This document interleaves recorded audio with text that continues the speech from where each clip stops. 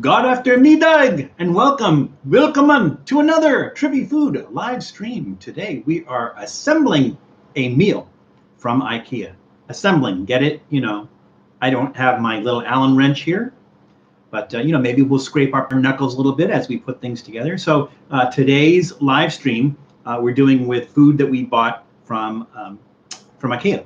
Now the only difference is that that um, one of the things is not from IKEA, and the reason is that IKEA does not serve alcoholic or does not sell alcoholic beverages, and apparently uh, there isn't a Swedish beer. So uh, I looked all over the place for a Swedish beer, could not find a Swedish beer. Uh, anybody out there from Sweden, let me know if that's not correct. But uh, but here locally, could not find a Swedish beer. Uh, we did substitute with a Swedish alcoholic beverage, um, but we'll get to that when we get to that. So, how is everybody doing today? Happy Saturday to everybody. It's a uh, beautiful, warm day here. Uh, supposed to only be in the 80s today, so a little bit, uh, a little bit cooler. But uh, hopefully, it's not too hot or too not too crazy where you are. I know we get some big fires going on in different places in Northern California. Know, I don't know if we have it in Southern California, in Northern California and Oregon. I know we got some fires going on. Maybe some other places as well. It's crazy out there. I mean, you know, I always say that at the end, it's like take care of yourselves because it's crazy out there. It really is. It really is. Tr- really and truly is crazy out there. Um, uh, my apologies again, always, uh, to anybody who like, um, if I haven't got caught up, caught up, caught it up, caught up.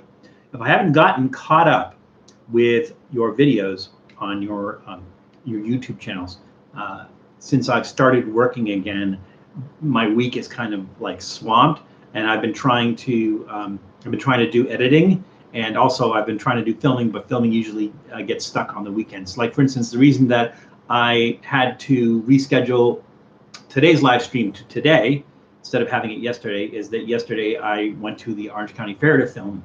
Um, used to be I could do that during the week. I can't do that during the week anymore, so I had to do that on on Sunday. I went with um, uh, Matt and um, Matt and Majestic Beard from Reckless Eating we filmed a bunch of stuff. I think they're going to do individual episodes. I think I only filmed two things, and normally I would put those out as individual episodes, but I'm just going to run them together. I think uh, we don't have a big thing um, highlighting other things at the fair because we did that. I think it was two years ago. Did that two years ago, so I'm not really going to uh, do that too much. Uh, I, I, I have to apologize to uh, Janice because when she found out that I was going to the uh, the Orange County Fair, she said, "Oh, well, let me know if you're looking for anything." Or something. I didn't see her. I didn't see her post until after I, I got back. So you know, it is what it is. I see eight people in the.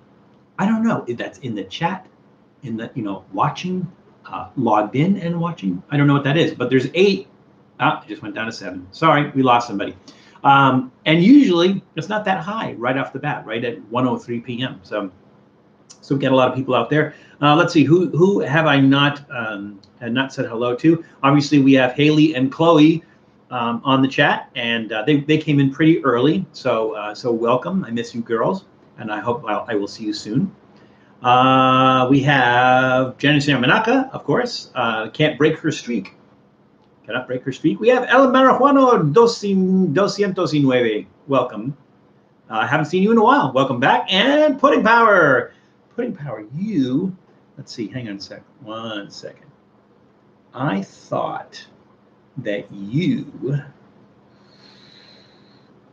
No, I don't know why I thought you were from the from uh, Europe. You're not from Europe. You're from the uh, Chicago area, but uh, but welcome anyways. I was going to ask you about some some Swedish stuff, but you know, don't no, don't need to. I think.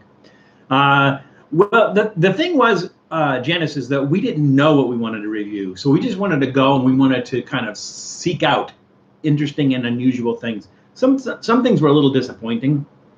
Uh, it seemed like that there was a lot of Italian stuff this year, and it's and and a lot of the a lot of the boots, I guess, for lack of another term, a lot of the boots seem to have signs that look exactly like some other ones. So it seemed like like um, somebody was supplying certain foods to certain boots, uh, and um, um, and we saw that in a bunch of different places, like like. Uh, what was it? Uh, lasagna nachos. Those lasagna nachos. There was like three or four boot, different boots, different you know, different uh, companies, if, as you will, that uh, that said that they had um, uh, lasagna nachos, and I'm like, that's kind of weird. Uh, also, I don't know if it's because of COVID, but a lot of them were scaled back. So even though they had things on their menu, they didn't actually have it. Uh, and it seemed like those were the items that we went looking for. So it's like, hey, that looks really good. Do you have? And like, sorry, we don't have it. Oh yes, I know. I know why you don't have it. You don't have it because I'm looking for it. So that's kind of how that um, how that works. I hope you're yeah. So uh, so yeah, we we were able to find everything we wanted to review only because we didn't know what we wanted to review.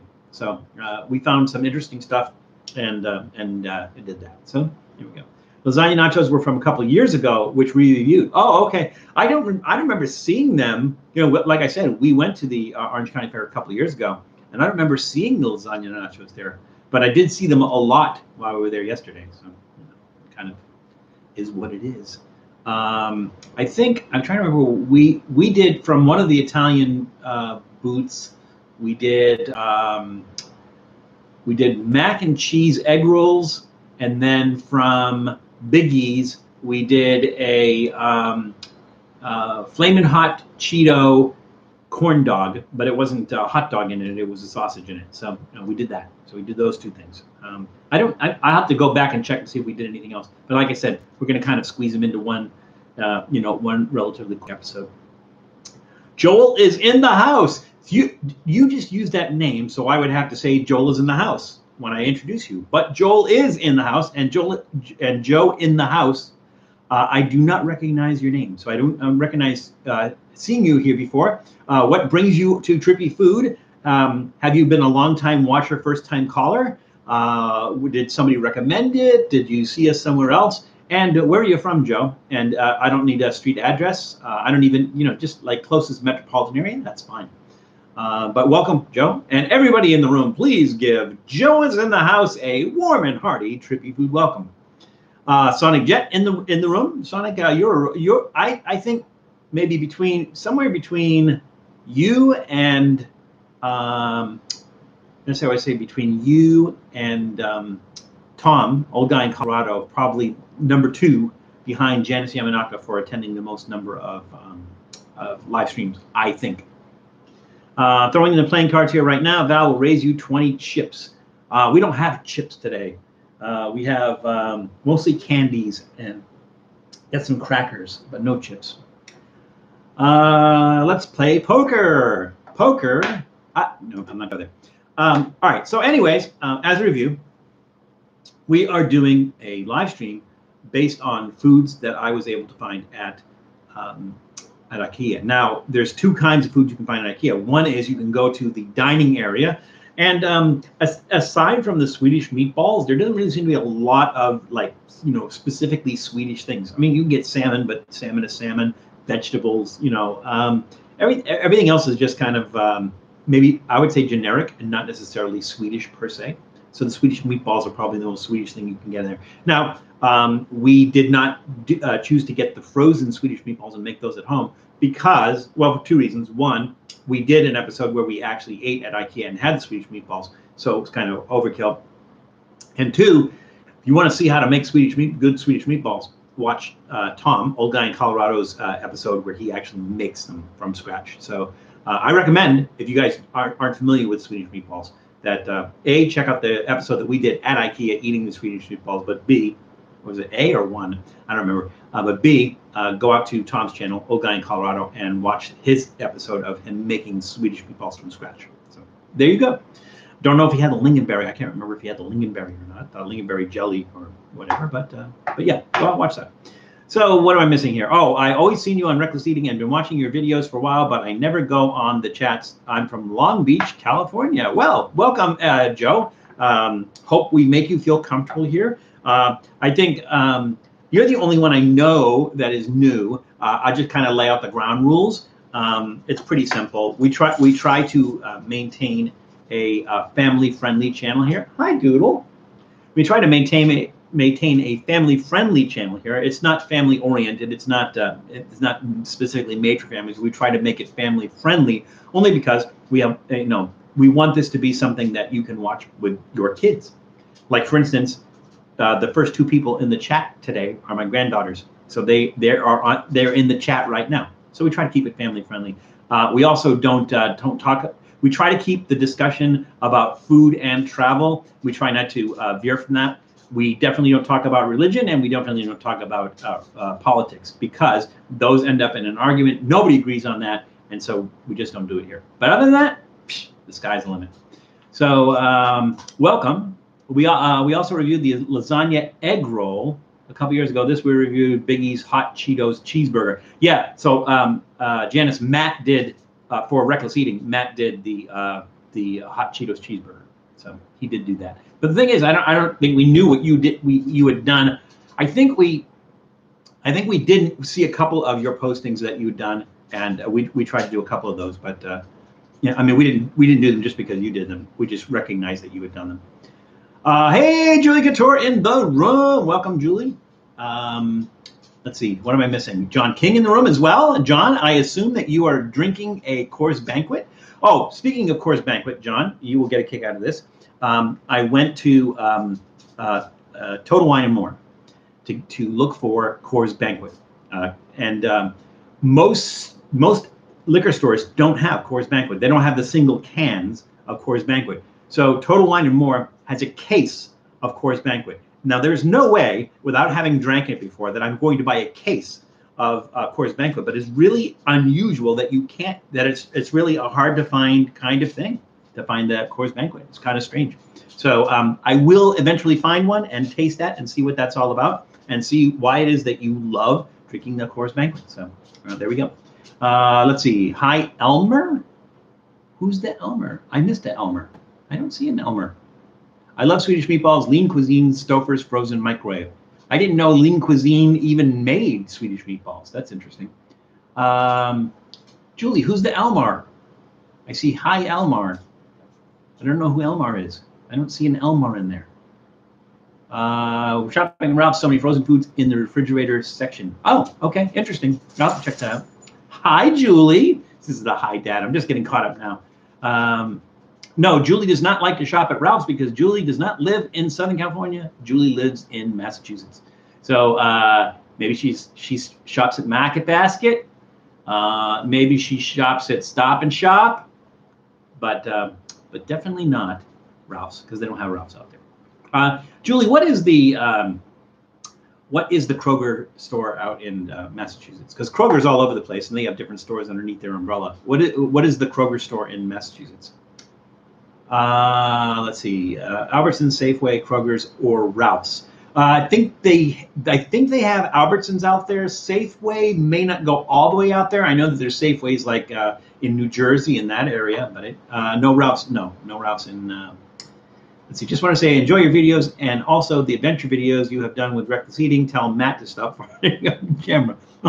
you, you're going to have to post that. So post that on Matt's video and tell Matt to stop farting on his on camera it's his channel, so you know he's welcome to. to I mean, you know, um, we do things differently on Trippy Food, but when I'm on Reckless Eating, you know, I'm not going to tell Matt what to do or what not to do. So, but if you but if you don't like that, tell him.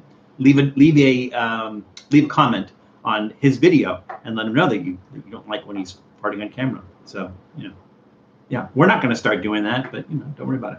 Did you try any of the Shark Week Devour frozen dinners? We tried a lot of them, and they were pretty good. I did not try the Shark Week Devour frozen dinners. Um, what uh, what do they have? Like what what what kind of uh, things do they have, Janice? Um, I want to do an episode on. Uh, now I don't know that anybody that's in the room right now is old enough to remember patio Mexican TV dinners.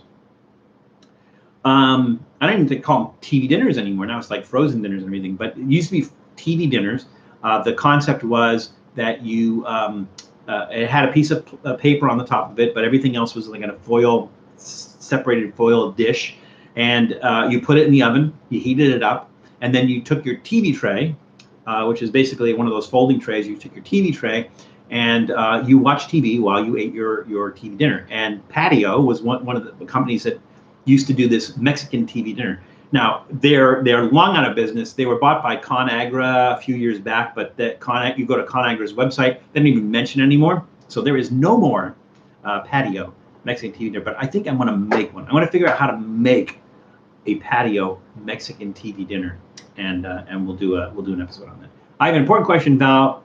Was your live cam recently moved to Sundays I think used to be on YouTube Saturdays. Uh, no Sonic, uh, no, uh, only for the past two weeks. The only past two weeks we moved to Sundays, only because I we had some scheduling conflict. So so last Saturday, um, I was supposed to go to uh, the Orange County Fair with Reckless Eating to uh, to film with Reckless Eating. So we got down there and you know got all the way down there and found that um, um, you had to have your tickets online and they were sold out. You couldn't buy tickets there. So uh, so that was a wash. So we rescheduled it to this week, which is why I was not on last week. But I fully expect. I don't see any reason why not. I fully expect that we will be back on Saturday starting next week. So I hope that answers your question. Very important. What does Matt's fart smell like? Well, el mientos nueve. Uh, I don't get close enough to find out because it's not my it's not my bag, baby. Hey, Peter Griffin in the room. Where did I see you not sneak in? Ah, oh, that's right, because uh, you're in the UK, so it is evening for you. Welcome, Peter. Uh, are, are we going to be uh, joined by your um, your spouse today, or is it just you, or are you both watching on the same thing? Uh, Katamashi, how was the orange cream milk? So Katamashi, I'm assuming, I'm assuming that you came over from Reckless Eating. I don't rec- recognize the name, but um, but the, um, in the I think it was the San Francisco uh, We Go Maine show, the road trip that we did with uh, Matt Zion and Chris Reckless.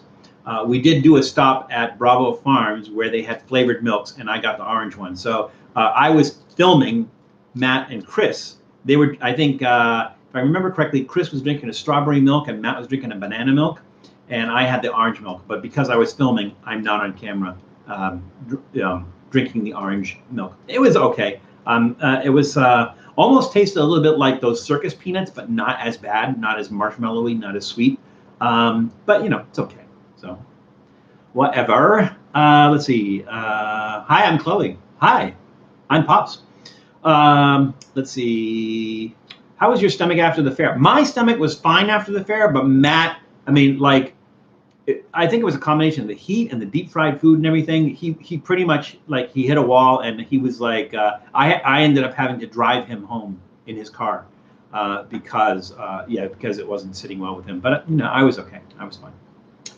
Uh, I remember patio dinners. Okay, John. So you so so so you watch as we will we will at some point in time recreate a patio Mexican TV dinner. So I want to do that soon.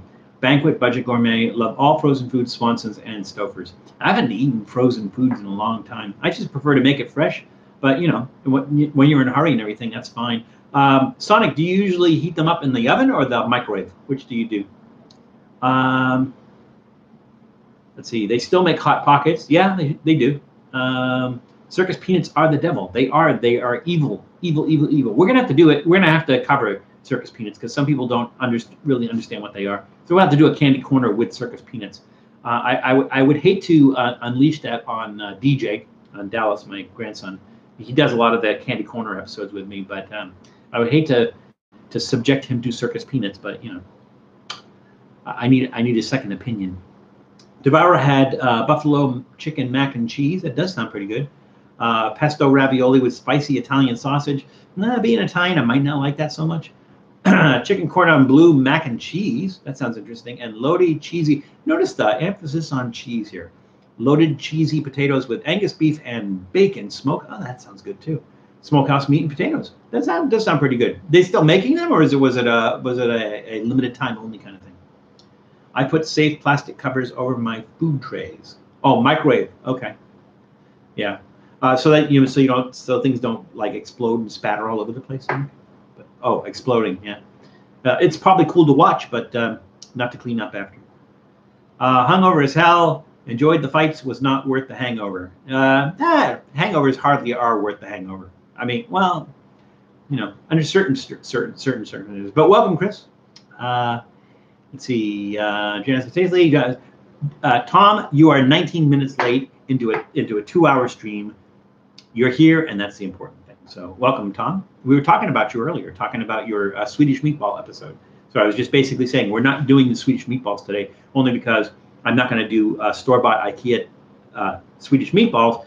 A, because we've actually eaten them at IKEA on a previous episode of Food, and B, because you know you you raised the bar when you made those uh, Swedish meatballs from scratch. So I was directing everybody to your channel to uh, watch that video if they want to see what the Swedish meatballs are all about.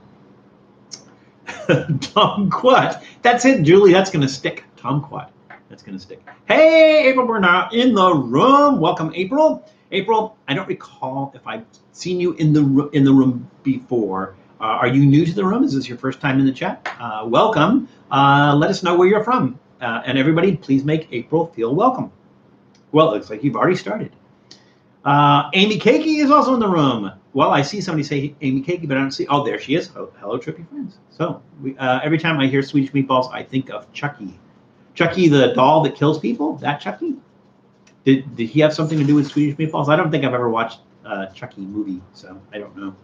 Uh, Jesse Torres in the room. We're just picking up now. Now we got a we got a group. We might as well get started because I, I think it boils down to six things. It looked like a lot more in the picture, but some of those things go together. Uh, Doodle is getting all panicky over here, so let's let's introduce him to anyone who doesn't know Doodle. It is the Prince of Dogness, Doodle himself. Doodle likes the meat. He he he covets the meatballs. He can't have the meatballs though. Uh, I mean, I don't think they'd hurt him. They're uh, plant-based meatballs. I don't think they would hurt him at all. But hey, Doodle, say hello to your adoring public over there. Over there, Doodle. Say hi. Close enough. How about a snack? Hmm? How about a Doodle snack? Doodle, the Prince of Dogness. Let me get him a snack. Uh, hang on, Doodle. I got your snacks. Here we go. I love my dog too. Yes, Chucky the doll was his favorite food that Tiffany makes for him. Really? Swedish meatballs. That's interesting. Doll loves Swedish meatballs. Let's give him half. We can give him half, another half afterwards. There you go, Doodle. Bye bye. See you soon. He'll be back. He's always back. He's so well behaved. Well, sort of, Sonic. He. Oh, hang on a second. So it says chat. This happened. Uh, this has happened the past couple of times. It says chat disconnected. Um, it doesn't say that the stream is disconnected. It just says the chat is disconnected, and I don't know why that is. Um, so um, so just bear with me. I can't see if you're writing anything. I can't see it right now. Ah, successfully connected. We're back. I might have missed something. I don't know. Uh, so Sonic, you said he's well behaved, but he's relatively well behaved. I can take him outside. Uh, two people walking down the street, 100 feet apart. First per and they they look relatively sim uh, similar. First person walks by, Doodle is just like. Second person, so I don't you know I don't get it. I don't know what it is, but you know we got to work on that. Uh, what I miss? Uh, heavy breathing doodle. Uh, Papa's on the phone with Haley. Okay. Uh, I love spaghetti with meatballs too. Yeah, who doesn't? I mean, really. I mean, seriously, who doesn't love spaghetti meatballs? Your uh, video audio is working. Yeah, I, I knew that it was Sonic, but I get this message. It says chat disconnected. So I know that the audio and video is still going, but for some reason the chat gets disconnected and then reconnected. So I, I don't know what's going on with that. It's kind of a weird thing. You would think the whole stream would be disconnected, but but no. Uh, hey, Kalen. Uh, call it's Colin, right? Colin, like calling without the G. Colin Collins, is that right? Correct me, please. Let me know. It's it's either Callan or Colin. I'm I'm thinking it's probably Colin. Colin Collins, right? Yes? No? Let me know. Uh, but welcome back. Uh, let's see. Uh, just make sure I get everything. Haley spaghetti meatballs. I know I'm working on it. John King says trippy food. Trippy food. Okay, John. Uh, welcome to the oh, welcome to the wonderful world of trippy food. I get it now. Haley hates spaghetti and meatballs. Julie, did you tell her that she's Italian? Does she know? Does she know she's Italian? You got you get it. Wait, you're not giving her spaghettios, are you? because you and I are going to have words if you're giving her spaghettios. Um, all righty, let's get started because we're already like 24 minutes in. And oh my God, you do, Julie. You tell me you don't. Tell me you don't. I can make spaghetti with meatballs. Something. Yeah, uh, I can too. No, all right, all right. Scared me there for a second there because I'm Mexican and I don't like pozole. Is normal. Um, yeah, I suppose. Um, but I'm not a lot of things, and I do like a lot of things. Like I'm not I'm not Korean, but I like japchae and um, bibimbap. Um, you know, so uh, I don't know. I don't know that that you have to be of an ethnic background to like something that is part of that ethnic background. I don't know. Uh, you know, Uh, I don't know if like like if you're inherently um, if if you're Jewish that you have to like gefilte fish. I don't know. I don't know if that works. Yes, that's correct. Calling without the G. Okay, thank you, thank you. Um, I, I had a guess before, but now we know. All right, so let's uh, review really quickly and get started because we're you know, hello from Sweden, ATW in the room. That's that's cool. So, and the reason that's cool is because we're doing things that are supposed to be Swedish because they're from IKEA. But but having you in the room, ATW, is going to be awesome because you will be able to say, that isn't Swedish. I don't know, you know, and, and also you'll be able to help us with some of the translations because because some of the names of these things, I did uh, uh, Google Translate on, and uh, they they come up with nothing. So I don't know if like IKEA just gives these names to things, uh, and they're sort of like brand names, or they're actually names of things in um, in Sweden. So ATW, you are going to be you are going to be very very useful on today's stream, and I appreciate the fact that you are here. Okay, food review time. You're right, Sonic. Uh, let's see. Um, ATW is that Swedish? Oh. All right. Well, we go going back and forth on that. You got a CAD. I do got a CAD, but you. So here's here's. Do you guys want me to just get like get into it, or do you want me to go to recap? I, I, I will just start getting into it and like I said, I think we have about six things. We have an alcoholic beverage and a non-alcoholic beverage, and we've got a bunch of things to eat. So, so if you want, um, we'll just we'll just dive into it. You want to do that? Yes? No? Thumbs up? Thumbs down? Everybody out there? Anybody? Anybody? Recap or no recap? Come on, time's a wasting. Yes, thumbs up. Okay. Okay for the recap? No. Julie says no recap. So, so Colin, I, I didn't know if you're if you're yes thumbs up for don't do a recap or do a recap. Sonic says recap. Janet says no recap. Julie says dive right. Well, Julie already said no recap. So that's two no recaps, one recap. Anybody else?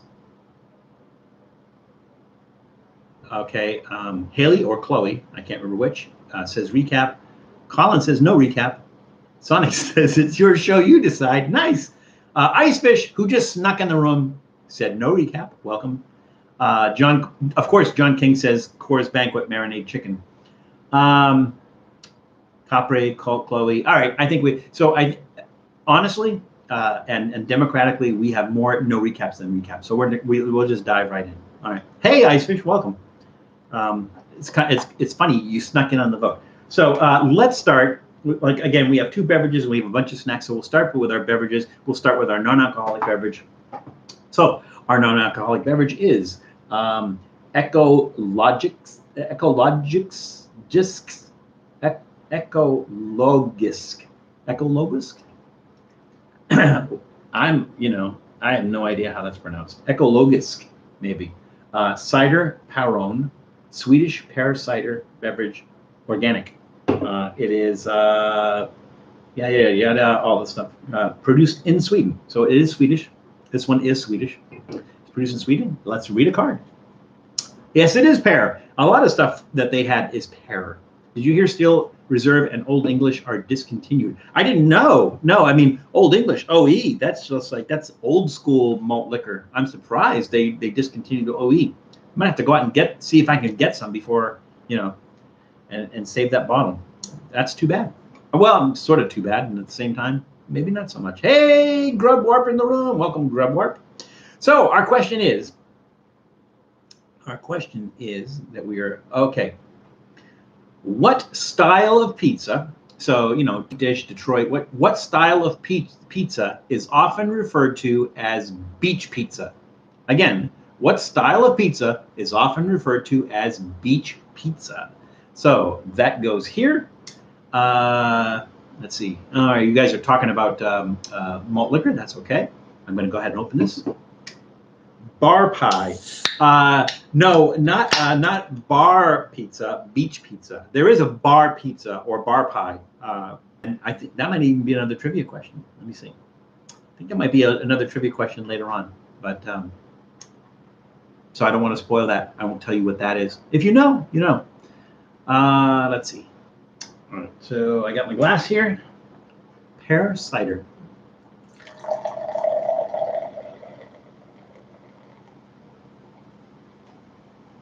It's very carbonated. I don't know why I was thinking it wasn't carbonated because you know cider like apple cider. How, I, apple cider is not really carbonated. That's more like a soda, I think. Ooh, it smells like pear. It has pear juice in it. See, carbonated water, sugar, pear juice from concentrate, fermented pear juice from concentrate, fermented apple juice from concentrate, natural pear flavor, citric acid, organic. That's pretty cool. Cheers. It does look a little bit like ginger ale. It's funny because when you when you initially pour it, you get all the bubbles, but the bubbles dissipate pretty quickly, so it doesn't really taste carbonated. It does say carbonated water, but um, but those bubbles they dissipate pretty quickly.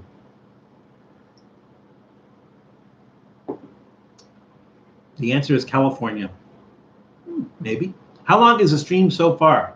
Um, so far, we've gone for 31 minutes. So we have another hour and 29 minutes to go. Canada Dry. Um, no, um, I mean, yeah, it looks like Canada. I mean, ginger. It looks like generic ginger ale. It tastes really good. It's really sweet.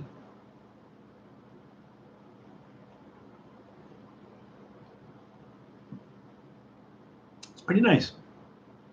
I like that. That's going to get a thumbs up for me. Pear cider from IKEA.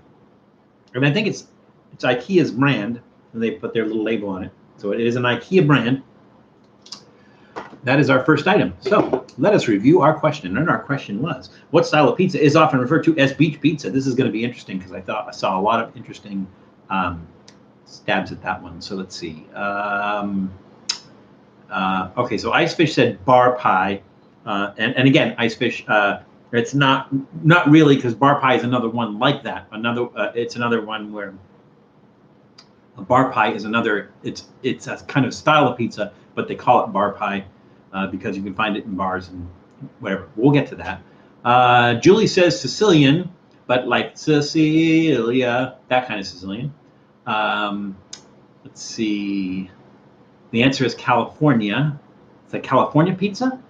Um, I'll, take that. Sand and snail pizza. Mm, I could do it without the sand, but I wouldn't eat a snail pizza. Uh, seafood pizza. That's a good guess, seafood pizza, because beach. Yeah, I would, you know, that is a good guess. Julie says it's the one with the slice of provolone. Um, Amy says, my husband needs to take us to IKEA. He's never experienced before. Yeah, if you, um, uh, you're, you're in, I think, Inland Empire, so it's a little bit of a hike for you. But if you can get out to the one in Burbank, California, it's the largest in North America.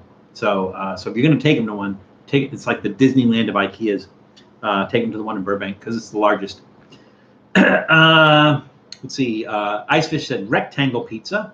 Uh, that's kind of a good guess, but it's more about the shape than than the style of pizza. Uh, are you talking about Square School Cafe Pizza? No, uh, I'm not uh, Katamashi, but but that's a good guess. Katamashi, did I welcome you to the room? I think I failed to welcome you to the room because you snuck in. So welcome to the room, Katamashi, and everybody please give Katamashi a warm and hearty Trippy Food welcome. Um, says New England pizza. Uh, John says Coors Banquet pizza because of course he does. Uh, El Marijuana says beach pizza is a style of pizza popular in the coastal communities of New England, north of Boston, particularly in Massachusetts and coastal New Hampshire. uh, that's true. That's very true. That it's not the answer to the question, though. Uh, do you like Shakey's Pizza? I have not been to Shakey's in a very, very long time. I should probably go just to, to see if it's any good. Uh, Scallion Pizza, no. Adam Heb, who snuck into the room. Welcome, Adam. Uh, Ontario and the, uh, oh, okay, uh, supposed to get on Kia soon. Well, uh, let's see. I, lo- uh, I love pizza. I love pizza too. All right, so um, Janice uh, El Marijuano, you're you're correct, and at the same time not correct. So basically, um, it you are correct that that's where you would get you would find beach pizza is in New England, is New England. Uh, and the reason they call it beach pizza is because it's basically served in that you know that corridor that runs along you know the the coast. Uh, so that's why they call it beach pizza. But the style of pizza is Sicilian. So whoever said Sicilian, I think it was Julie said Sicilian. You're absolutely correct. Um, so Julie, give yourself 20 points. The rest of you give yourself 20, 10 points. Um, and then, you know, write that down somewhere because I'm not keeping track. All right, there we go. Uh, Tombstone Pizza. Uh, Jord, Jord, Jordrinos? You mean Giordano's? Uh, Sonic? Sicilian isn't is rectangle, isn't it? Yes, it is. Sicilian is thicker and it is rectangular. You are correct. Ice fish. All right, so um, let us start into our fir- our first snack. I think what we're gonna I think we're gonna do the meatballs first. So the idea with the meatballs was, um, again, uh, I didn't want to go into the into the restaurant get anything and bring that out. I, I wanted to to buy things that were in the little grocery there, I, or get the seventy five cent hot dog. So I'm going to go uh, in the in the grocery now. Again, uh, I wanted to do the meatballs, but I didn't want to do the, the regular Swedish meatballs. Two again, two reasons. One, we already did a trippy food episode where we ate the Swedish meatballs at IKEA. Two, um, if you want to see like uh, you want some really good Swedish meatballs, or, or watch a video on, re, on, real good Swedish meatballs, watch Tom's uh, episode on Swedish meatballs. So I got the plant-based ones, which I think they call plant balls. So it's like a plant-based alternative meatball based on textured pea pro- protein frozen. Doesn't that sound tasty? They need to, they need to, to kind of give it some sort of name. Now they call this um, huvudroll. Huvudroll, I think that's how you would pronounce that. Um, so uh, it's probably not. Uh, this is interesting because uh, the ingredients are pea protein, uh, rapeseed oil, potatoes, binder mix, crumbs, rice flour, uh, salt, pea starch, pea protein, it's mostly peas, onion, oat bran, oat bran, uh, emulsifier, binder, mix, pea starch, natural flavoring, mushroom concentrate, dried apple, that's interesting, salt, tomato powder, black pepper, and allspice. That sounds pretty decent. Produced for IKEA of Sweden by Omlut of Sweden, product of Sweden. So, um, so I made those uh, uh, popped in the oven for 20 minutes, I think it is. Um, and then um, I also got the gravy that you put on top of it, which they also sell in the little grocery at IKEA. And um, the ingredients are potato starch, palm oil, uh, flavoring, salt, apple powder, there's apple in that too, yeast extract, caramel syrup, glucose syrup, sugar, maltodextrin, milk protein, sodium caseinate, uh, onion powder, garlic, bay leaves, white pepper, turmeric, and paprika contains wheat and milk. May contain eggs. That's what cracks me up. May contain eggs. So there's no eggs in the ingredient, but it may contain eggs. We, we just might feel like throwing some eggs in there. What the hell? When we're making it, let's just throw some eggs in there. May contain eggs. So here's the thing. We are eating plant-based meatballs that doesn't have any like meat byproducts in it. And we are putting this gravy on it, which is not, which definitely has, you know, milk, may contain egg. Uh, so uh, it is not vegan. If you just eat the meatballs the way they are without the, the gravy on it, I guess it would be vegan, but it's not. Uh, what did I? Uh, you you gave yourself a timeout. I don't know what you said, uh, El Marijuano, but that's okay.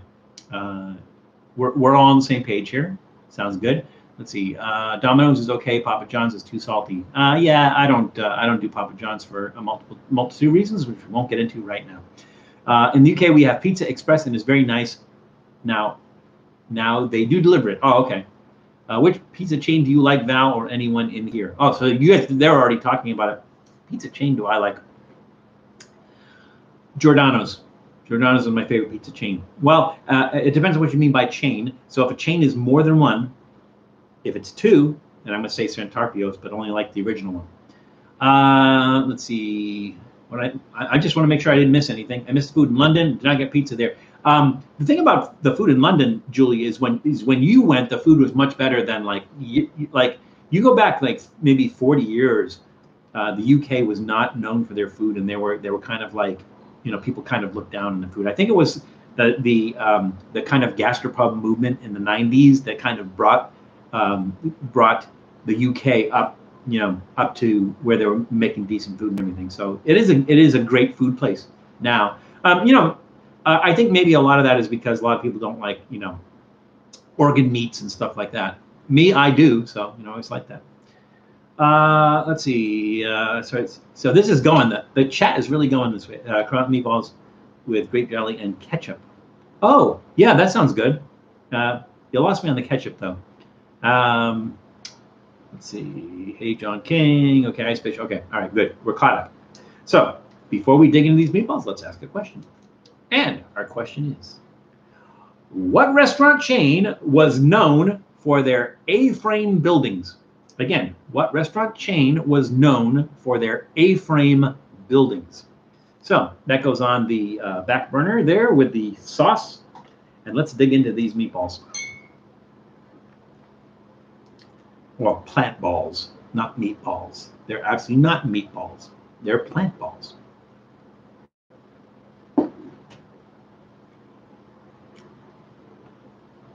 Kind of a weird texture.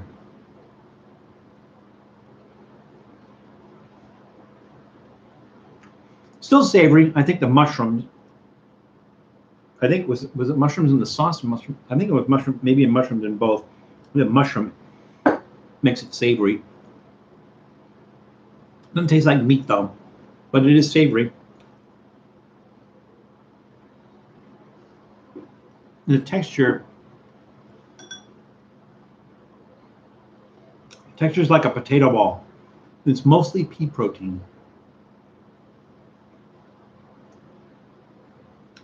These are pretty good. I would not tell somebody this is like um like hey these taste just like meatballs because they don't. But they're actually pretty good on their own.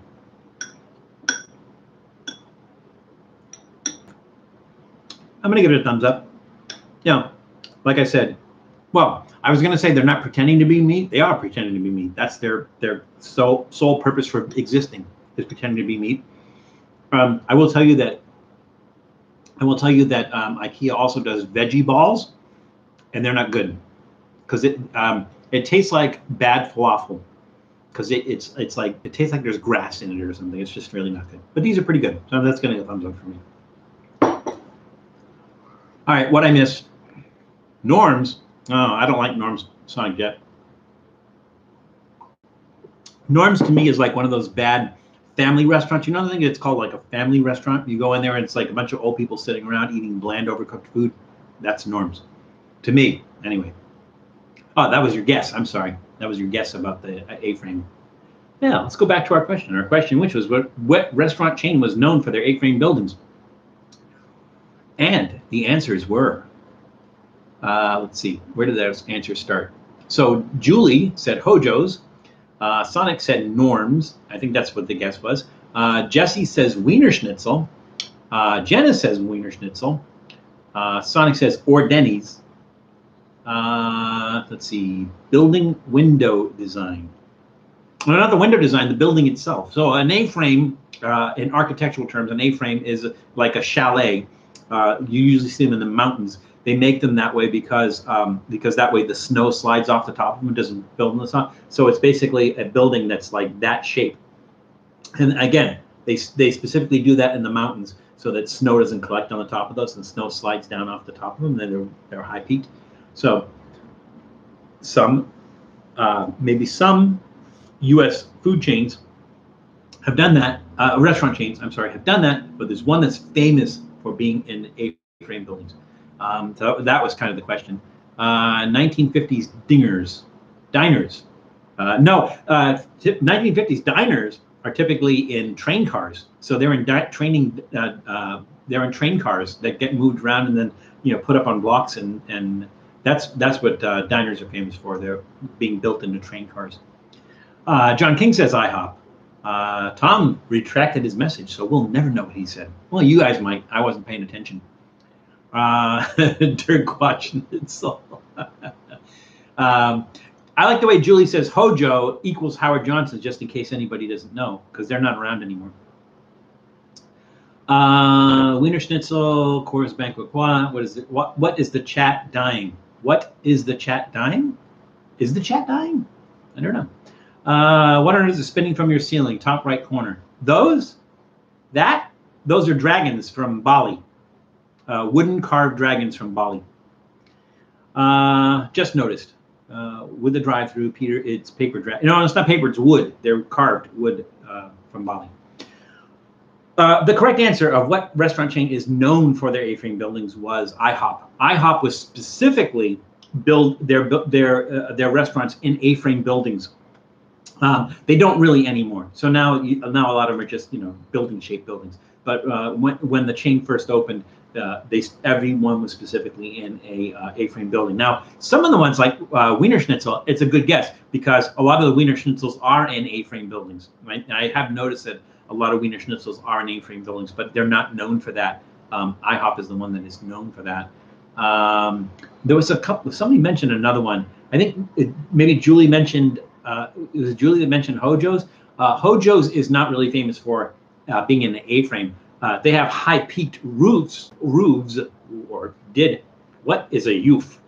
Um, they had high-peaked roofs, but not quite A-frame, not that, not as big as the ones at uh, IHOP. So the answer, the correct answer, is in fact IHOP.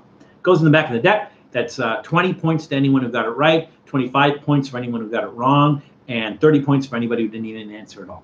Make sure you write that down. Keep track of that.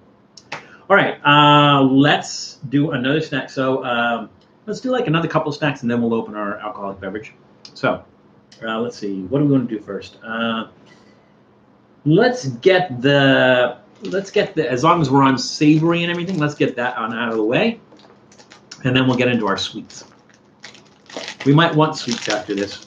So uh, we are going to do uh, and I don't think knäckebröd is a uh, is a like a um, name they gave it or anything. I think that's a real thing, knäckebröd, which is like a, it's like a big uh, crisp bread. It's a rye crisp bread. I think that's rag. I think is the uh, Swedish word for rye, because they have different different varieties. But it's a, it's a rye crisp bread, and we are going to put on that this, which is Kalles, Kalles, Kalles. I'm not sure how that's pronounced. Kalles. Yes, we will, uh, Janice. I'm just introducing the um, the food, and then we'll read the card before you actually open it. Thank you, Janice. Um, so uh, this uh, Kalles creamed smoked roe. I know it looks like toothpaste, but it's not toothpaste. Uh, it is uh, creamed smoked cod roe. Um, in um, in Sweden, it's called caviar with a K or smorgas caviar. Uh, it is made by Abba Seafood in Gothenburg, Sweden. Uh, the company was established in Bergen in 1838. Uh, Swedish ca- caviar, not caviar, caviar, is a fish egg spread. It's made with salted cod roe, sugar, canola oil, and spices. The two most common ways to eat Swedish caviar is either with boiled eggs or on sandwiches. Well, we're not going to kind of do either today. We're going to put it on knäckebröd. So let me go ahead and uh, read a card. All right, so uh, you guys will, now you guys, this will make sense. What is bar pizza and where would you find it? Again, the question, what is bar pizza and where would you find it? That goes on the back burner. I guess you guys know there's no back burner there. You guys know I'm not even reading from the card. It's all fake. It's all Hollywood. Uh, so let's go ahead and open our knäckebröd uh, crisp bread. No, they're not honey wheat crackers. They're rye crackers. So if you ever had rye crisp, those are rye crackers, but those have more. Those have more like fiber in it. These are kind of smoother. What did I miss? Okay, so we were talking about the dragon. We got that. Uh, I love those from Nabisco. Oh, honey wheat crackers from Nabisco. Okay, uh, toothpaste. It does look like toothpaste, Julie. You're right. What about smoked pox? Smoked pox? Did you mean locks? Pox? I don't think anyone's going to eat smoked pox. We call crackers like that soggos. After you dunk them in Kool-Aid, they get very soggy. They do. Any cracker you dunk, dunk in Kool-Aid is going to get soggy. Smoked lox fish. It's not lox. Lox is salmon. This is cod, and it's roe. Roe is the eggs. Actually, roe, technically is the egg sac filled with eggs, but um, I think they're just the eggs in here. So uh, this is cod roe is uh, cod eggs. That's what this is. But uh, no, not uh, not and not lox because lox is again salmon. Green cheese crackers, smoked lox. That is good. Not gonna lie. At the bar, kid. Uh, that's funny. Two bucks. All right, people are answering questions. That's good. We'll leave that there. All right. Uh, some butter on the neck brought. Also, we don't have butter. I didn't bring butter. I didn't know. So, uh, so you mean would so would you say just just butter on the knäckebröd or butter on the knäckebröd and then uh, the uh, the smoke roe? ATW. Which one? Which one? What would? How would you recommend eating this? I mean, we're kind of like making this up, so we're just we just want some sort of palette to put this on, and that's why I decided on these. Is we're just kind of going to do that. All right.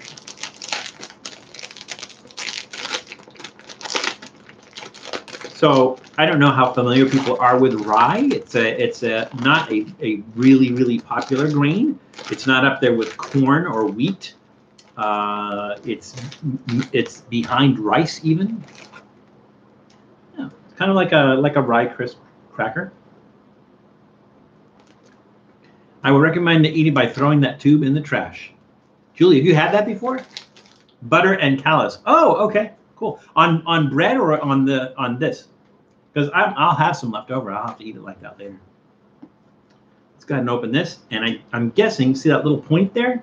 I'm guessing you do, you know, kind of do that. Which opens up the tube. I think that's right. Yep, that is right. The tube is now been opened. Looks like Cheez Whiz.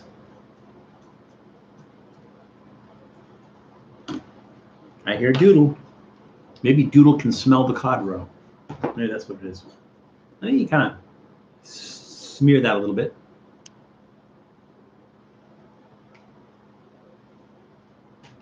I predict this is going to be salty as hell. That's just me though. Cheers.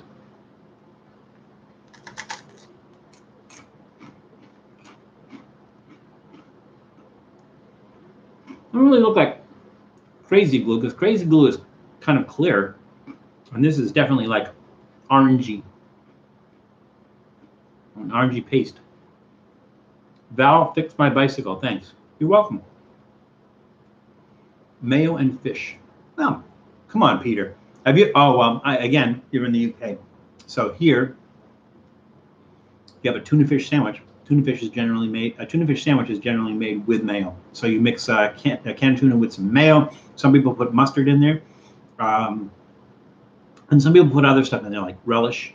Some people uh, some people put uh, black pepper. Some people put grated cheese in there. But you know, basic is uh, mayo and um, and uh, tuna fish, and then you just spread that on the bread.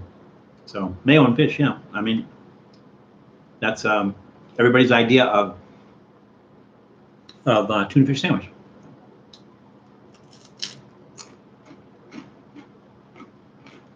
The blue tube container, I'm saying, you're saying,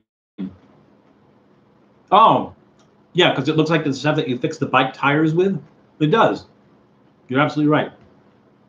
I forgot about that. Been a while since I fixed the bike tire. This is salty. It's not, well, I was going to say it's not really fishy, after the second bite, it starts to get fishy.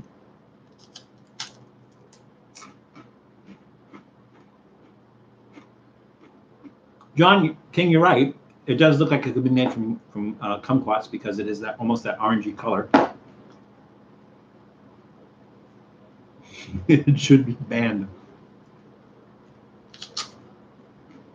The more you eat it, the saltier it gets, and the more fish it gets. So it almost has that anchovy taste. It almost tastes like anchovies. So I happen to like anchovies, and it doesn't, t- but good anchovies. This doesn't taste like bad anchovies, but it's a little bit, um, it's a little strong and it's a little hard to get used to. I, I could see where butter would definitely tame this. I'm gonna give that a thumbs in the middle because I can see where this would scare a lot of people, and and you, you would get tired of the taste relatively quickly. But again, uh, part of it is the saltiness, the the the, the overly over salt, overly salty, the overly saltiness of it. Um, so yeah, leave the thumbs in the middle. Um, I will I will probably eat this, but I will eat it sparingly, and then and I will probably put some butter on it to see how that goes. I'm not gonna go get it right now. Bye, Julie. Oh, taking the kids to dinner. I miss you. Have a great weekend. You too, Julie. Give me a call. Miss you, and I love you. Bye. Um, Val, I love the Lunchable crackers. They give you this cute little red stick for spreading the cheese. Wouldn't that be funny if they made Lunchables with this? That would be funny. At first. All right. Thumbs in the middle. So, let's go back to our card. the question was, what is bar pizza and typically where you would find it? Janice said a thin pizza pie, pan cooked from Eddie's Pizza in Hyde Park, New York. That's very descriptive. Um, let's see, do we, uh, New Haven, Icefish said New Haven. It is not really New Haven. New Haven uh, pizza is a, is a completely separate thing. It's not really New Haven pizza. Um, let's see, were there any other answers? I don't see any. You, you guys let me know if you didn't see them. Uh, bar pizza is typically found in bars and pubs in the Northeast. It is usually smaller, uh, typically 10 inches in diameter, and cooked in a pan. So um, that's the, that's the big difference between bar pizza. So when we get back out to, to New England, we're gonna have to have a, a bar pizza and see what that's all about. I lived in I lived in uh, the Boston area for 20 something years. I never had a bar pizza. So there we go. It is good on boiled eggs. Yeah, ATW. That's what that's what they say too. So I'm gonna have to check that out. I'm gonna try have to try that on boiled eggs as well. I'll, I'll boil them. I mean, I got a whole tube, right? I got time. I wonder how it would taste with Marmite. What do you think, Peter Griffin? What do you think? Have that on. Put that on on on bread with Marmite and butter. Hey, Amira Coleman in the room. Everybody, please give Amira Coleman a well, warm and hearty trippy food welcome. And please let me know, Janice, let me know. Did I miss anybody? Did anybody sneak in the room while I was busy yapping? Have some more of this pear beverage. Let's see. We knocked down to the, um, let's see. Um, I think what we'll do is we'll do the pastry next, and then we'll get into the sweet stuff. So we'll do the pastry, then we'll open our, our alcoholic beverage, and we'll get into the sweet stuff. So our uh, pastry is uh, the company is called. I'm, I'm thinking it's Pågen. I, I, could be pronouncing that wrong, but it's Pågen, and the product is Gifflar. And Gifflar is a uh, they're little cinnamon buns, and so uh, these have been around for a long time. Uh, let's see. Um, Pågen's bakeries are located in Malmo and Gothenburg.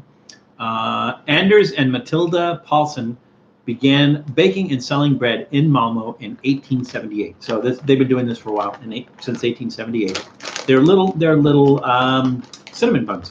So uh, also do vanilla custard.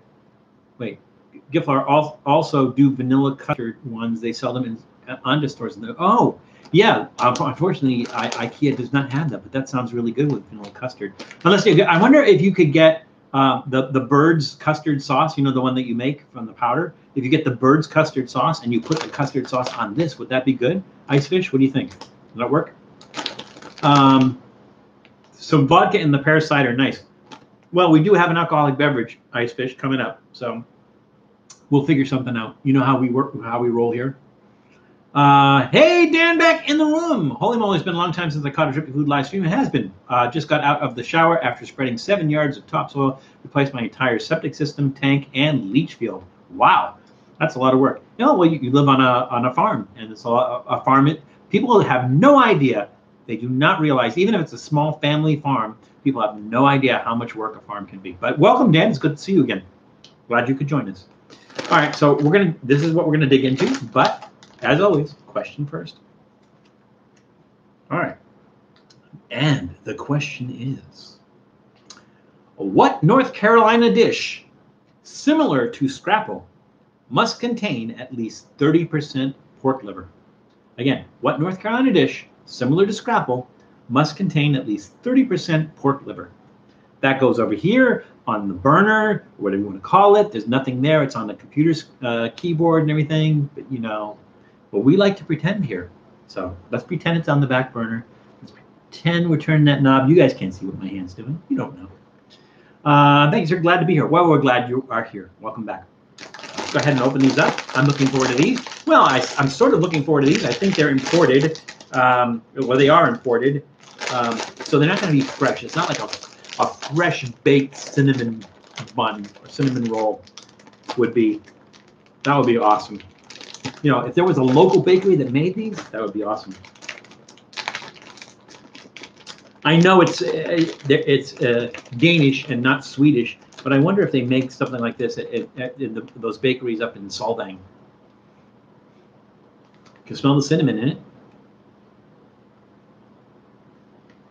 Microwave them for five seconds. Well, ice fish, that's problematic because I don't have a microwave. I wonder if you can put it in the oven though. Put it in the oven for a couple minutes. Will that work?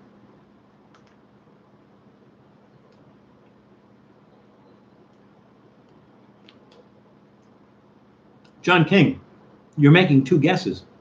Stick with one. Pick one of those two, liverwurst or liver and onions. Pick one. Let us know. Preheat an oven for three minutes. I have a whole bag. I can do that. I'm going to take your word for it, ice fish. They are easy to eat too many. I can see why. They're really, really good.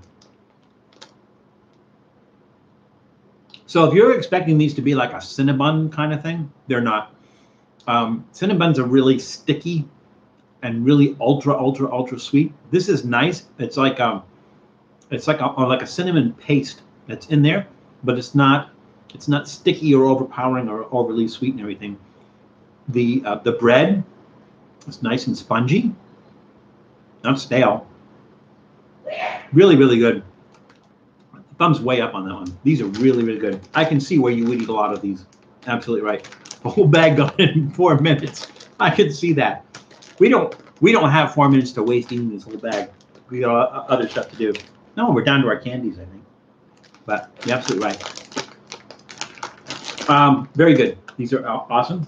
So again, if you get if there's an IKEA next near you, go out and get those. Now, those of you in in Europe are probably fortunate enough to be able to go to go to a, like a real Swedish um, grocery or something and be able to find it. Are there other Swedish groceries? I mean, like like I would imagine that the IKEA grocery part, the grocery part of IKEA, is probably a, somewhat Americanized. But uh, but in, in other parts of Europe, like in the UK, are there Swedish groceries where you can get Swedish um, you know, Swedish items and everything. Uh, UK people, what do you think?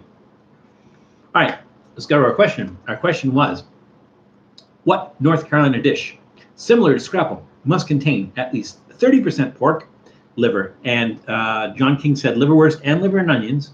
He will stick with liver and onions. Okay, so John King said liver and onions. Um, Janice said liver mush. I think that was it. I didn't see anybody else answer that question. The correct answer is, in fact, liver mush. You are absolutely right, Janice. It is a North Carolina specialty, a North Carolina favorite, liver mush. Um, it's usually like uh, served in a brick, and some people make a sandwich out of it. Uh, some people put jelly on it um, uh, and mustard. Some people mustard on it. So you know, sort sort of like scrapple. You're absolutely right, Janice. It was, in fact, uh, liver mush. So Janice, give yourself 30 points. Uh, John, for participating and saying twice, give yourself 60 points. And um, the rest of you uh, give yourself 80 points. And then, you know, write that down. Make sure you're tallying that because I'm not keeping track. That goes back in the deck. I'm going to eat another meatball because that's how I roll. I'm sorry, plant ball. Have to be specific. It is not a meatball. There's no meat in here. They're cold now. They're still not bad. I think this would be satisfying to somebody who wants meat, wants to taste the meat. It doesn't taste like meat. It definitely doesn't taste like meat. But I think it would be satisfying, at least satisfying to me. Yeah. Pretty good.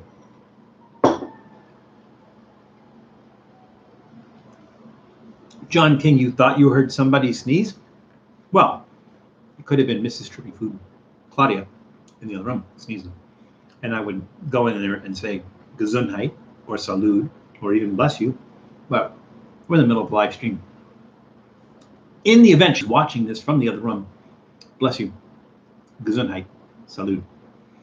Uh, okay, uh, not really any Swedish places to go. Maybe um, Bougie? Bougie?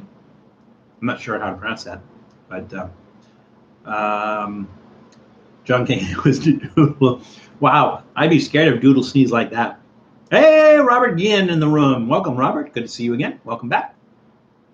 That would have lifted Doodle off the ground. I sometimes wonder if she, if, if, like, if he's going to helicopter one of these days because his, like, when his little tail goes, you know, I always expected his back end to like raise up off the ground with his little tail going. So maybe someday that'll be fun.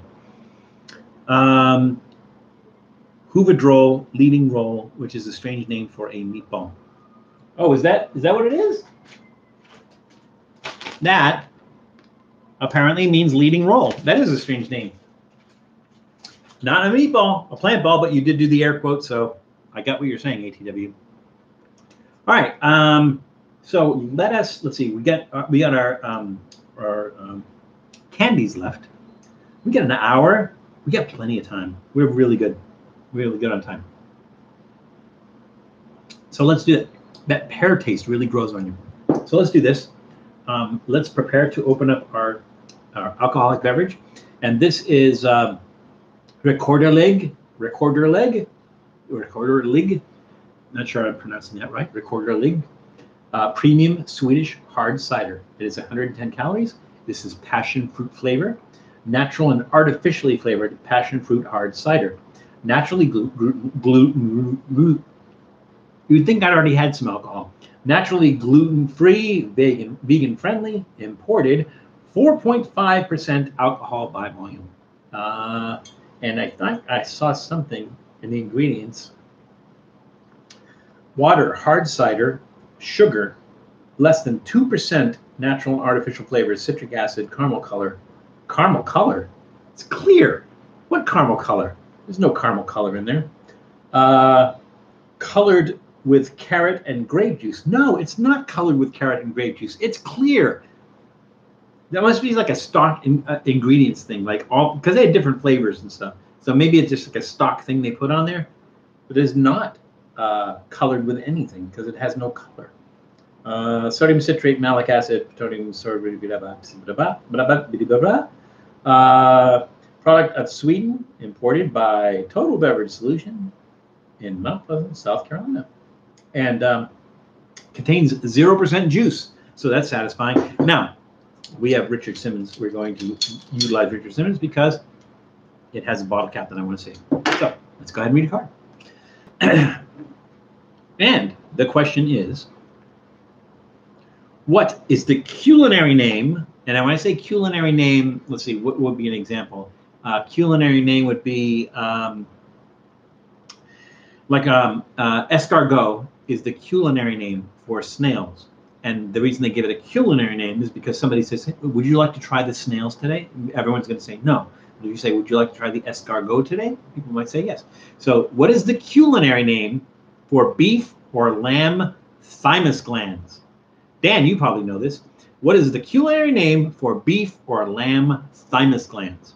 So, that goes on the front. I'm going to put that on the front burner just to be different. Let's see, did I miss anything here? Um, let's see. Uh, we talked about Doodle. We talked about his tail. Uh, IKEA usually use random Swedish words and names for their products. Yeah, because no, who knows, right? I mean, if I walk into an IKEA and I see Jurgersman as one of the product names, I don't know that it's a real name or a made-up name or anything. To me, you know, I just look at it. So they probably do. They probably just random or arbitrarily give you know give names like that. Uh, kind of looks like vodka or gin. I suppose it also kind of looks like water. Hey, Firefly 59 in the room. ATW, I will never know what you had said, but you retracted it. That's okay. I respect you for that. Um, okay, so let's go ahead and open that.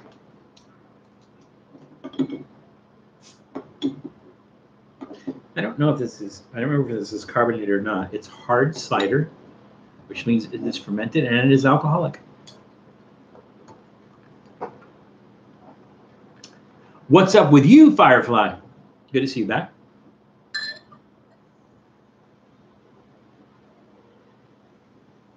Julie's not here to rate my pour, but I don't I don't think this counts.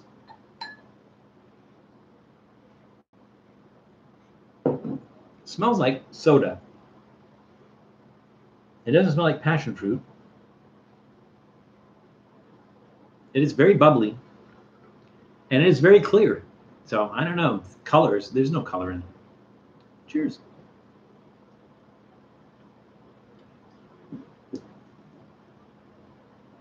Hmm.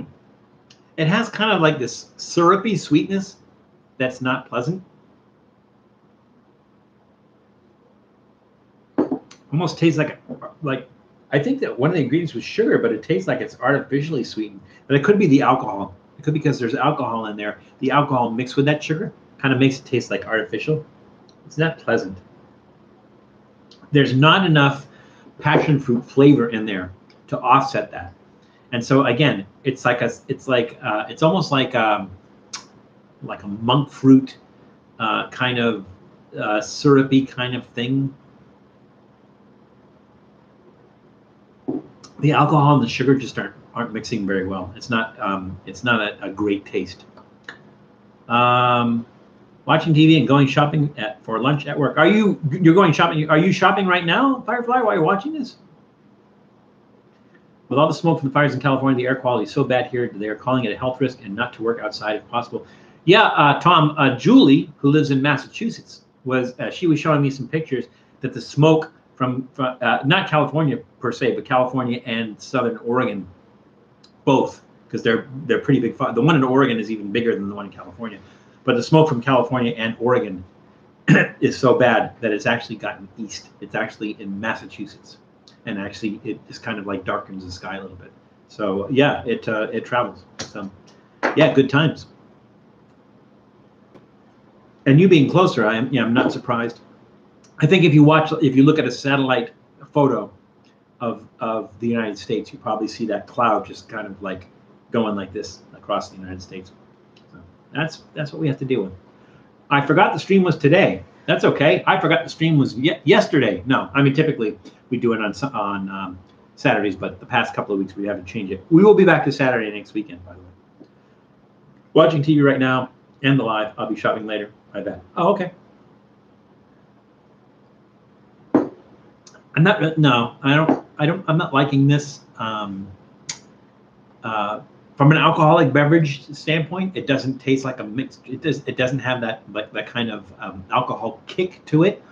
Uh, what really overlays the whole thing is this kind of syrupy, artificially sweet kind of flavor, and there's not enough passion fruit flavor to offset that. So, um, this one's going to get a thumbs down. But it is from Sweden, and uh, and apparently, um, again, IKEA does not have serve, uh, sell alcoholic beverages, and um, Total Wine and More says there's no such thing as a Swedish beer. So that's we did what we had to do. Uh, they are. Let's see, where are they? Oh, Vimmerby, Vimmerby, Vimmerby, Sweden. They they have been selling this since 1966 in Vimmerby, Sweden. So that's where we need more tipsy pizza reviews. Maybe so. So here's the here's my problem, Stoner. Um, I, I, agree. It's probably entertaining. The uh, um, the problem is that uh, that I don't trust my judgment when I'm tipsy. So in other words, I could I could be uh, I could be I, I, I might not be accurately tasting the um, you know the pizza. So it what might be it might be good to do a tipsy crappy pizza review, right? So like uh, like you know if i'm doing a crappy pizza that might be good to do like that uh, but you know it's entertaining. We'll see. How's doodle? Uh, doodle came in earlier. I think um, eventually he'll stop back in again and we'll give him some more snacks and then we'll pick him up again because why not? Because we have other people in the room. Val you need to do kumquats review. John you don't remember when we did kumquats? Because we actually did on the live stream we actually had kumquats. You don't remember. We did we did kumquats. John honestly you remember? Or maybe you weren't there that week. Maybe that's what it is. Because you were out for a few, you were you were away for a few weeks. So maybe it was one of the weeks that you were away. We did it, but it's already uh, it's already up, and we saved them. So uh, go to the um, go to the YouTube channel, and then uh, look at the uh, for the live streams that have been recorded, and you'll see that you know you'll see the picture of the kumquats. Just go ahead and watch that, and there we go. Okay, uh, yeah, so I'm gonna say I'm gonna say thumbs thumbs down on that. I'm, I'm, not really enjoying it that much. So there we go. Our question, however, our question was, what is the culinary name for beef or lamb thymus glands? And the answers were, uh, Icefish said sweetbread. Uh, Janet Yamanaka said sweetbread. Um, John King said banquet moi. Moi. Uh, think those are all the answers. Those are the only answers. The correct answer is, in fact, sweetbreads, which are neither sweet nor breads. So if you ever go to a restaurant, and you see sweetbread on the menu, they're not going to bring you out pan dulce. They will not bring that out to you. You're not going to have like these nice little sweet little red rolls of bread. They're going to bring you out either a lamb or a beef uh, or a uh, cattle's thymus gland. So uh, just keep that in mind. Uh, actually, it's very it's delicious um, it, as long as you don't know what it is that you're eating, like if you're one of those visual people and somebody says, "Oh, it's thymus gland," you're probably not going to order. But if you actually just eat it and taste it and everything, it's actually very, very good. One of my favorites. So there we go. All right, uh, let's see. Let's do this. This wasn't great. Maybe this will make it better. We'll see. Is that about half and half, I think?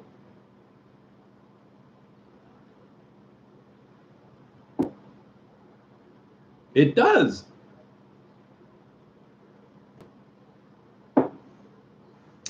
It does, and it's probably because uh, there's not as much alcohol when you water it down, and so that alcohol battling with the sugar isn't bad.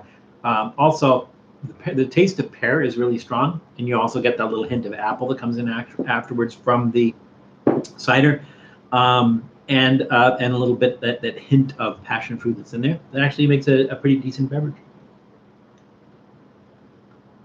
Mixing it's probably a good idea. So there we go. Who knew? I didn't know. Now we do. Kumquat pineapple upside down cake. Yeah, that would work. That would definitely work. It's uh, kumquat is just another citrus fruit, John. Uh, I don't know about how, uh, cooking with it though, because um, I think generally the idea is to uh, is to squeeze out the inside and not to eat the. Um, wait, I'm trying to remember. Is to eat the outside and not eat the inside because the inside is more bitter or more sour than the outside. And the outside is the sweet part. So I don't know how that would work. I guess uh, I guess you could kind of like uh, finely grate it, um, sort of like lemon zest or orange zest, and then use that to to uh, flavor the cake. That would actually probably be really good. A, con- a kumquat uh, pineapple upside down cake. I think that would probably be really good. So I'm gonna move this over there. Even though it's good, it's better. I don't think I'm gonna drink that. So there we go. I'm certainly not gonna chug that let's see, I got my cider, my, my cider here. So now all we got left is the candies. We got 45, um, like about 45 minutes left, so we're in good shape.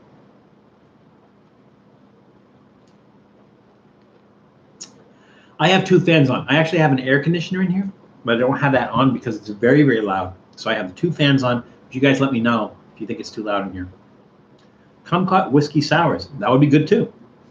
That would be that would be really good too, I think and then you would you would actually use the inside of the kumquat because it's sour. You don't care if it's sour. So yeah, John, that would work. All right, I'm gonna have another plant ball. All right, so I got um, two chocolate ones and two candy candy ones. Let's see. Um, I'm not a huge fan of chocolate, so I'm to start with the chocolate ones. So let's start with this one, and this is damn, damn. Damn! There's three in here. Uh, uh, Daim, I think is how it's pronounced. Daim chocolate candy was created by the company Marabou in Sweden in 1952, and they've been making it ever since then. Uh, this is uh, uh, it is not Daim three like the sequel to Daim two. Uh, it is not Daim three. It is Daim three pack. So there are three of the actual bars in there. I don't know if you can see that. Can I see that? So good. We have two for later. So before I open this, I will read it. Have you added new any any new collectibles to the cabinet behind you? I have. Would you like me to show you, Peter? waiting for an answer. Yes or no? It's okay. I accept both or either. Would you like me to show you the new collectible in there? Yes. All right. Glad you asked. I'm not, but you know, it works out that way. We've added one since we reviewed those. Um, the uh, I don't know if you can see it up there is my crystal skull, and then it has my bottle caps in it. So we do have more bottle caps in there. But you know, you've seen me open the bottle caps on my stream, but this one is new. So this, let's see, I thought it said what it was on there, but it does not. This is a little metal uh, statue of Coit Tower in San Francisco. I got this at Coit Tower in San Francisco when I was doing a road trip with Matt Zion and Chris Reckless for Reckless Eating's We Go Main show in San Francisco. So uh, actually, it, it, was it was kind of funny because I had contacted Coit Tower before we left and said, "Hey, are you guys open? Because I see it on the website. It doesn't look like you're open." And they said, "No, we're not open." And I and I said, "Well, we're going to be there uh, next weekend. Do you think you'll be open there?" Like, no, probably not going to be open until August. I'm like, okay, that's fine. So when we got to San Francisco, we were down by uh, on, on the Embarcadero, And by the Embarcadero is the Filbert Steps. And the Filbert Steps, there's something like 400 stairs on the Filbert Steps that go up to Coit Tower. So we thought, we thought, okay, here's what we'll do. We'll go up the Filbert Steps because that in itself will be a fun thing to do. Um, if you hate yourself, it's a fun thing to do. Um, so we will we will do that. We'll go up to the top, and we will just kind of like sit at the base of the tower because the views over there of uh, of uh, San Francisco Bay are spectacular. So we thought we would do that. It turns out while we were there that they were actually open. So we actually got tickets. We went up to the top, that little observation thing up the top, and um, and enjoyed Coit Tower. So I got this as a souvenir, and so that is one of the things that um, that we did cover and that we got since last time. Hope that helps. Uh, we'd love to see them. Yeah, that was it uh, Peter and Janice, just that. So, uh, Doodle is back. So for those of you who just came in and have not met Doodle, here is the Prince of Dogness, Doodle. It's Doodle. It's Doodle. Hi, Doodle. Doodle, do you want a snack? Is that why you're back? You want a snack? Hmm? Say hi. Say hi to your adoring public. You gonna say hi? No? Okay. You can get a snack. I saved you a piece. What did I do with that? put it back in the bag. I will give him the Doodle snack. There you go, Doodle. And off he goes. No loyalty. He is loyal to the chicken tenders. Okay, so uh, let us go ahead and open the Daim.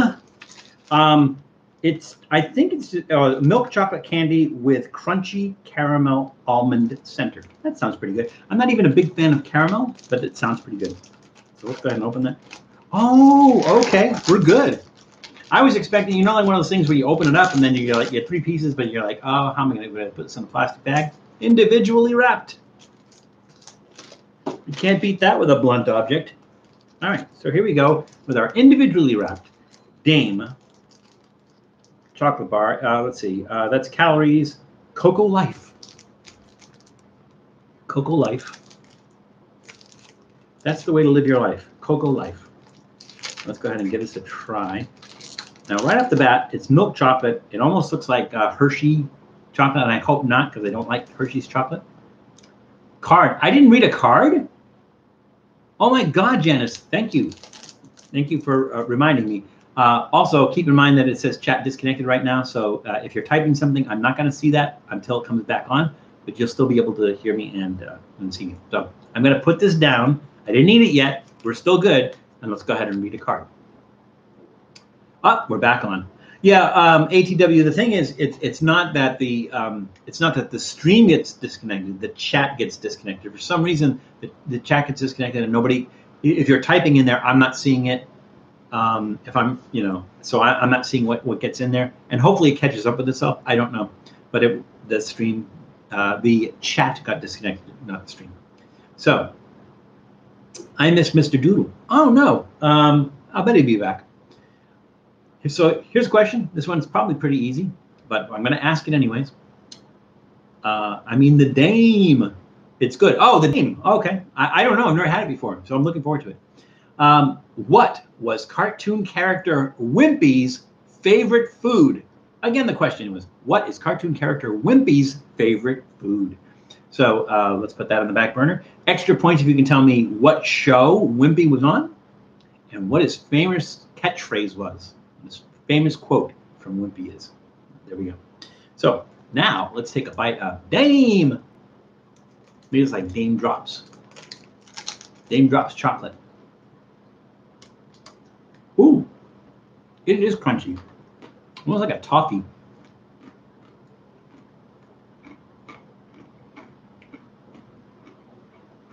Maybe not the best milk chocolate, but not horrible either.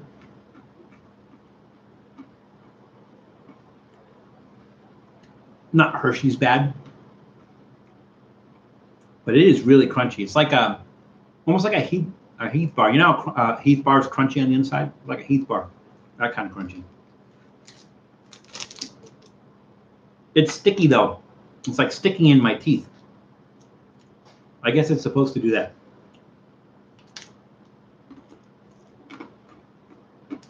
Me of a Heath bar. What is it What's in a Heath bar that isn't in a Daim? Or what is it that's a Daim that's not in a Heath bar? That really sticks to your teeth.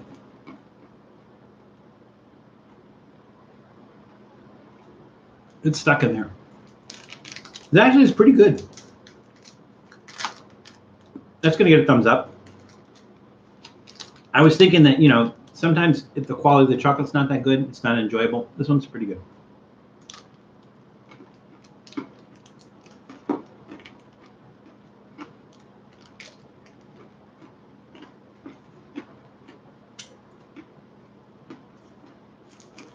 Pretty decent. Now I have two for later.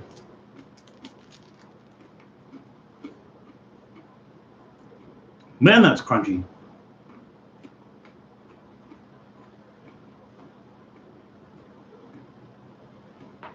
It is really crunchy. Can you hear that, Firefly? Can you hear it crunching in my mouth?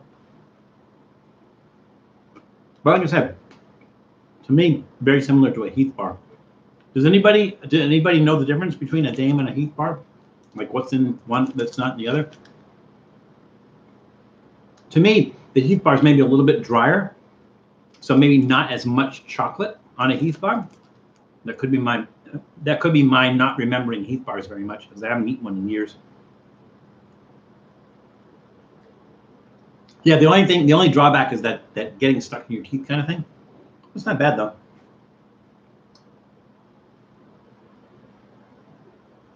Wanted to make sure I didn't grab the wrong glass.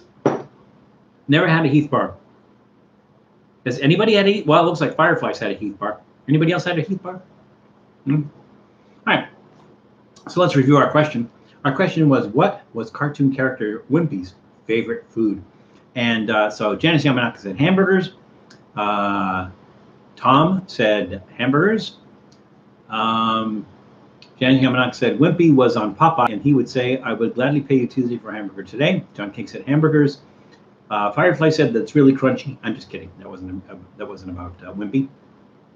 I think those were the only answers, and they're all correct. Wimpy's favorite food was hamburgers, and his favorite. Uh, he was uh, featured on Popeye. I think he was one of Popeye's best friends. And his catchphrase, or the thing he would say on regular basis, was, "I will gladly pay you Tuesday for a hamburger today." Um, because of Wimpy's uh, love for hamburgers, there was actually a chain. I don't know if they're still around. They could be. There was actually a uh, uh, fast food burger chain called Wimpy's that served burgers. So I think they might have gotten in trouble for doing that. But there was a fast food burger chain called Wimpy's that served hamburgers. So you're all correct because you're all correct, you only get five points. Because normally, you know, one person has to be correct, and the other one has to be wrong. So only give yourself five points, and if you didn't answer at all, give yourself ten. Uh, that goes in the back burner. Uh, what would you do for a Klondike bar, Val? Uh, I would go to the grocery store and buy one. That's what I would do. I would do anything for love, but I won't do that. Uh, it is a thing most Americans bite and chew candy. Sometimes when they try hard candy, I'm afraid for their teeth. Uh, is there a proper way to eat that then, uh, ATW? Is there a proper way to eat a Daim bar? Like, are you supposed to just like let it sit in your mouth and just kind of fall apart, um, or or is is a chewing? Are you supposed to bite and chew it? So is that like, am I eating it incorrectly? I don't know. Hey, Drew, who, Drew. I'm gonna try that again. This time in English. Um, Drew Horst just snuck in the room. Uh, always welcome here, Drew, and it's good to see you again. So welcome and thank you, Janice, for, for bringing it to my attention just by mentioning it. All right, so uh, we are down to, oh, we have another chocolate to go. Let's do our other chocolate. So this is, um, the name is Belonging. I don't think it's Belonging, Belonging, Belonging, Belonging. Um, uh, ATW, are they are they messing with me? Does that actually mean anything? Belonging, belong, belonging. Um, and this, the reason that I found this interesting is that it is milk chocolate with lingonberries. That's an unusual thing. Now you do see a lot of ling. I don't know if it's like the national fruit of Sweden, but you do see a lot of Swedish things with lingonberry in it. And especially if you go to IKEA, they they they have the lingonberry. Um, they used to have the lingonberry juice boxes. They really don't have that anymore. They have lingonberry gel, jelly that you can buy. Uh, they they do have the stuff to make the lingonberry uh, juice, but it's uh, it's a syrup, and you have to mix it with water. So lingonberry is a big thing. Maybe it's a big thing in Sweden. Maybe that's what it is. Uh, so we are going to try this uh, milk chocolate with lingonberries. They're calling it beloning, but again, Not sure that's a real thing. Oh, there he goes. It means reward in Sweden. Yeah, again, just one of those random things. Uh, no, Dan, you can chew and eat directly, but you can savor it for a while. Oh, okay. Uh, good to know. So uh, yes, so we're gonna we're gonna put this uh, reward uh, off to the side while I read a card. And uh, the card is. Uh, I'm going to pretend I'm reading it right now. Do I have that? I have it right side up. The question is, what dish was named after John Montagu? Again, the dish. What dish was named after John Montagu? Montague or Montagu, maybe. Uh, but uh, but there was a dish named after him. What dish was named after John Montagu? So that goes over here. Back burner, you know the drill. Uh, bacon, grilled onions, onion strings. In regards to what? Oh, you're answering Stoner. Favorite burger? Oh, favorite burger toppings. Let me think about that one. Favorite burger talking. Genesis sounds good. Favorite burger top toppings. I'm gonna go ahead and say grilled mushrooms, grilled jalapenos, and grilled onions. Those are my those are my favorite uh, burger toppings. But honestly, to be honest with you, if, if it's a really good burger, I, I, I, like to put as little on it as possible. So I don't put any condiments on it at all. Maybe lettuce and maybe tomato, and that's it. Nothing else. On a on a good burger, they'll stand up. So that's that's how you can tell a good burger. You want to you want to equalize the playing field, and to do so, like you're trying a burger for the first time, um, you know you want to test the quality of the meat and everything. Maybe tomato, maybe lettuce. That's it.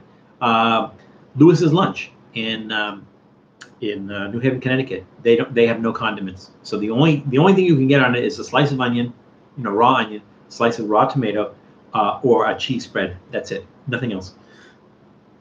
And a lot of people complain about that, but to be perfectly honest with you, it's gonna it's gonna show off your meat. You could take that the wrong way, but please don't. Um, um, it it um, it it shows whether or not you're you're using good quality meat. So there we go. No mustard. No, I, I like I like mustard on a on a. I mean, the thing is, I think the question is like, what is your preference? But you know, I like a lot a, a wide variety of things on it. I like uh, like Gouda cheese on it. I like um, I do like mustard on it every once in a while. So you know, it varies. I like to change things up. I, I'm not I'm not. Uh, I'm not a big fan of consistency. I'm not. A, I'm not. I'm not somebody who walks into a place and orders the same thing every time. Uh, any restaurant I go to, I, I I try never to order the same thing twice in a row.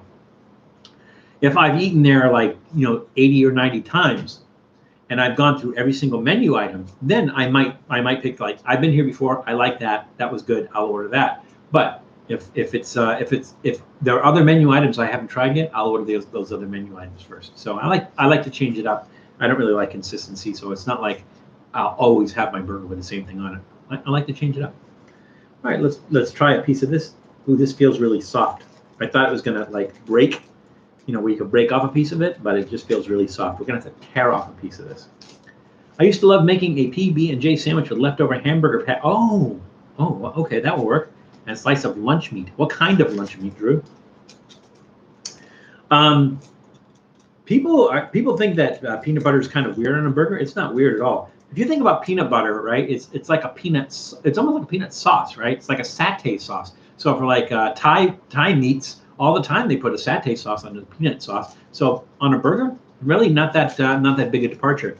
Uh, jelly is different and interesting, but again, jelly is no stranger to meat. Uh, you have like leg of lamb with mint jelly on it. So so jelly's not uh, n- not a stranger either. So to put peanut butter and jelly on a burger is not that really crazy. As a matter of fact, um, if you go back and you watch the episode that we did at Grill 'Em All in Alhambra, Alhambra, um, uh, we did uh, what was it, what did they call that? I can't remember what the it was. It was named after somebody, but I can't remember what it was called. Oh, the Dee Snider it was the Dee Snider was the burger that we had, and it was a burger with I think it was bacon, peanut butter, and jelly on it, and it was outstanding. So, yeah, not a big deal, not crazy. Val versus menu. Yep. One item at a time. Uh, for just regular backyard burger, it's grilled onions, bacon, tomato, very light lettuce, mustard, and American cheese. That's a, that's a that's a good call. Uh, a lot of people a lot of people talk down about American cheese, and and I think like if you're gonna make a, a, sandwich with cold cuts in it, I don't I don't prefer American cheese in it. But sometimes American cheese on a burger is really good because it just has that kind of like a almost almost like a sour bite to it. Um, that uh, it, it, really what American cheese is is a blend of cheeses. It's a blend of different cheeses. I think there's a brick, there's a brick cheese, Colby cheese, and there's one other kind of cheese, maybe cheddar. And it's a mixture of cheeses. Um, and then if you buy Kraft slices, they sometimes add like vegetable oil and some other things to it as well.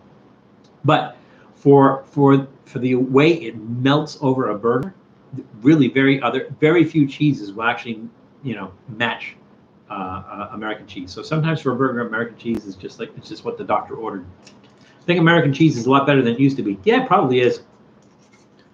I, and it depends on the brand too. Yeah, this is like really soft. I was gonna break pieces off, but you know, as you can see, it's really soft. But there we go. So I don't know if you can see that. There's tiny little red pieces in there. Can you guys see that? Yeah, tiny little red pieces in there. Here we go.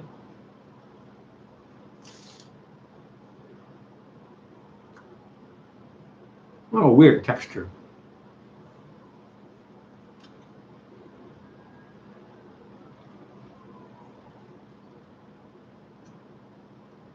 It's soft, but it doesn't melt. It doesn't melt easily.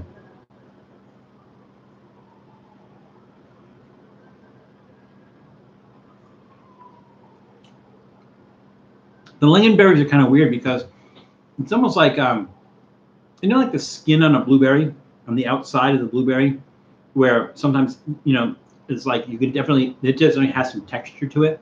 These are the same thing. It has the the the texture of the skin of the berry in it, and then only some flavor. So it's not equally mixed all the way through there, where it has it has a kind of berry taste going all the way through it. So I think there's lingonberries mixed in, but not not consistently mixed in, and so you only get these pockets of lingonberry flavor. Usually, like so, one of the things is if you kind of let it melt in your mouth, once the chocolate has all melted away and you swallow that, then you're left with the lingonberries. and you get the taste, the flavor, the flavor from the lingonberries. But it's not. Again, it doesn't seem like it's it's um, kind of you know merged together with the chocolate. Kind of. Um, need a second piece because sometimes sometimes you know you get more flavor. You can see, you can see like the little little red spots on the bottom there. Looks like this candy has measles. ever have cheese that tastes like butter? Mm-hmm. Not surprising. They're both made from the same butter and cheese are made from the same thing. So not surprising whatsoever.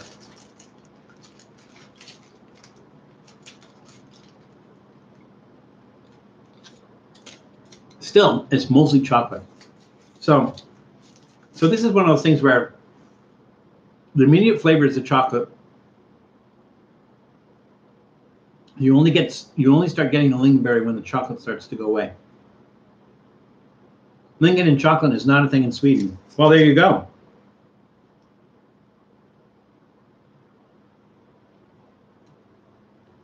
apparently, lingon apparently lingonberries are a thing in a thing in Sweden, and so I guess maybe IKEA figures let's put it in as many things as we can. I don't know. I'm gonna kind of give that a thumbs in the middle. Again, all you get is the chocolate at, at first. You have to wait till the chocolate's all gone. Then you get the lingonberry. It would be nice if you could get a little bit of both at the same time. So that's my that's that's my thumbs my reasoning for thumbs in the middle.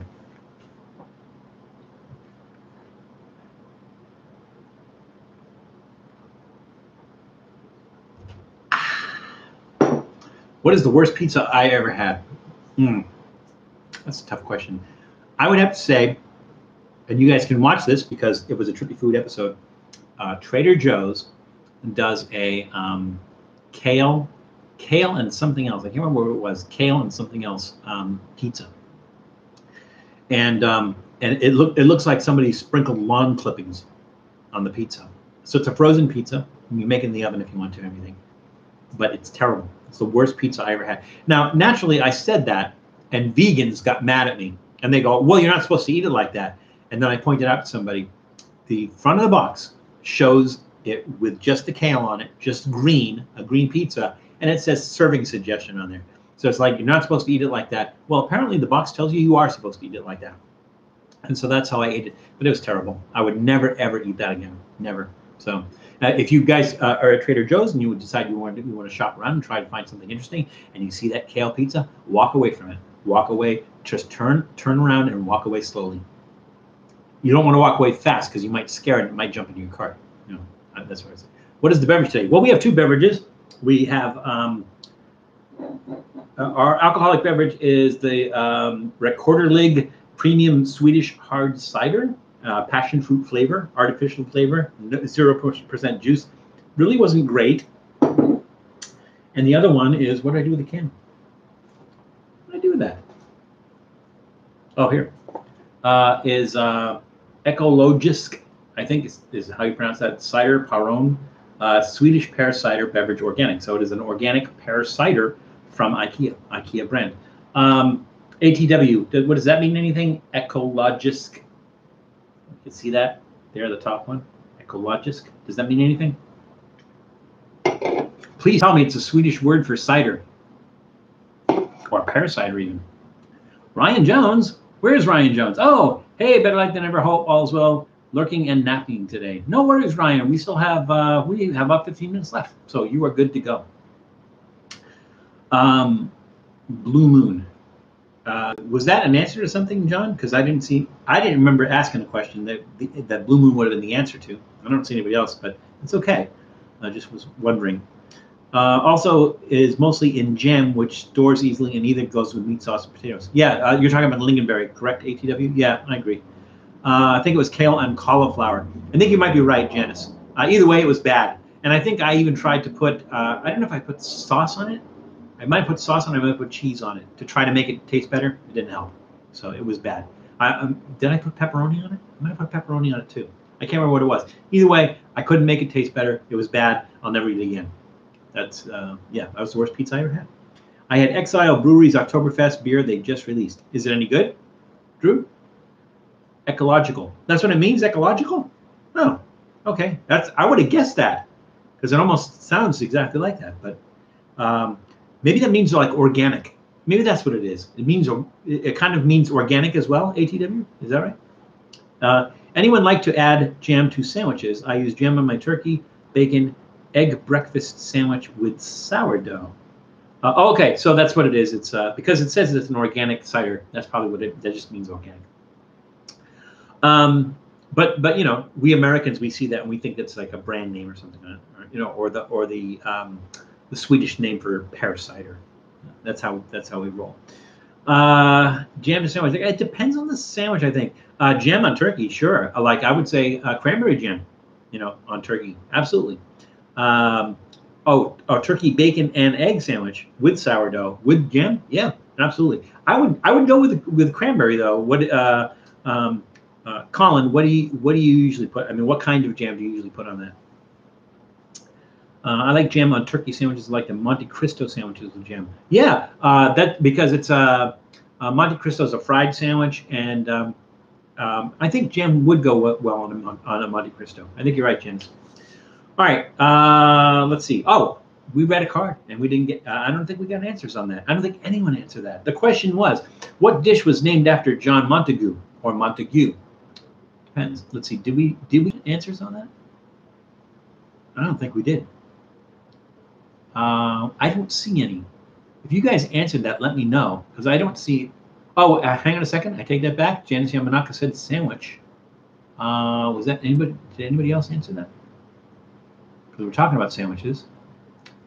Uh, I don't see it. I don't see anybody answer. So the question was, what is the dish named after John Montagu? Uh, it looks like um, it looks like Janice was the only one answered. She said sandwich. The correct answer, unfortunately, is sandwich. Uh, Montagu, or Montague, Montagu was the fourth Earl of Sandwich, and he preferred to eat meats between slices of bread so he wouldn't get his fingers dirty when he was playing cards. So it was a it was a, a thing of um, while he was playing cards, he he would he would take the meats and cheeses and stuff that you know that was there, and he didn't want to get his all that stuff on his finger while he was playing cards. So he did, basically shoved it between two slices of bread and ate it. And so the sandwich was named after um, John Montagu, the fourth Earl of Sandwich. So uh, that goes back in the deck. I could have said what what what uh, food item was named after the Earl of Sandwich, but that would have been uh, like disgustingly obvious. So we have two things left. Uh, they are both called the same thing. They are both called. Let me hold this one up because I think it's easier to read. Um, it looks like Lord Lord Egg's Goddess. Lord Egg's Goddess.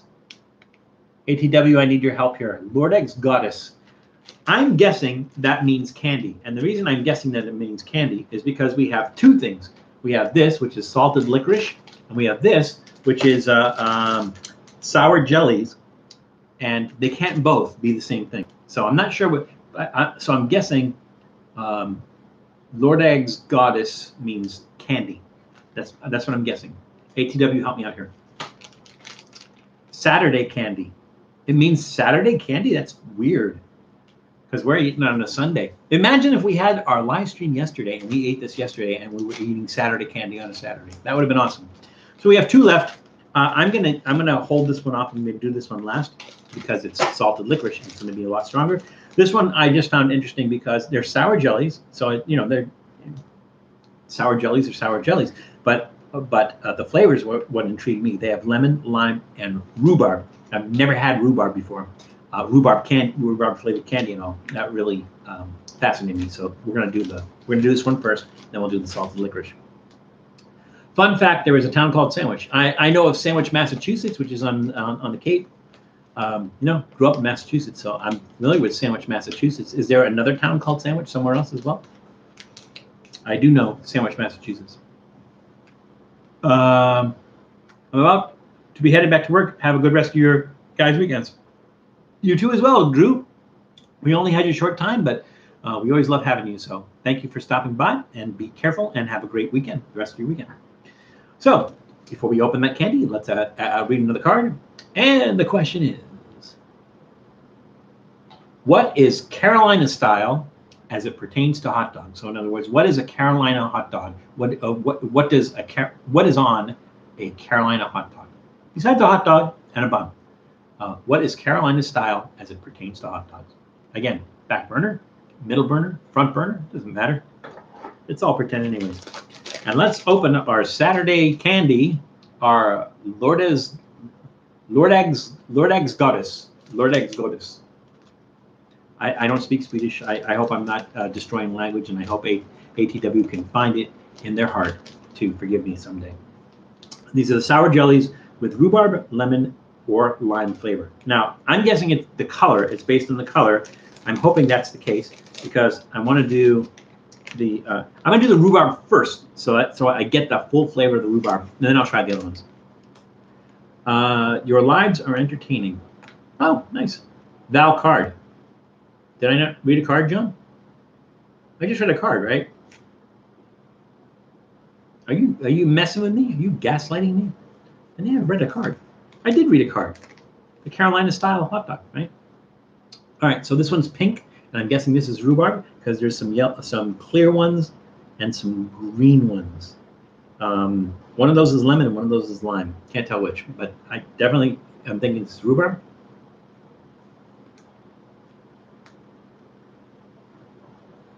I was expecting it to taste like a Sour Patch Kid candy. It is sour. A Sonoran dog, that sounds good. Stoner, did you see the episode that we did, uh, eating the Sonoran dog? It was at Sonoran Grill in um, somewhere in the, in the Inland Empire. I can't remember exactly where it was. We were out there at the same time. We, we had a nine pound burrito that me and um, me and um, Nando and Matt Zion shared. So we ate three pounds of this six of this nine pound burrito, and uh, Raina ate one, and she still beat us.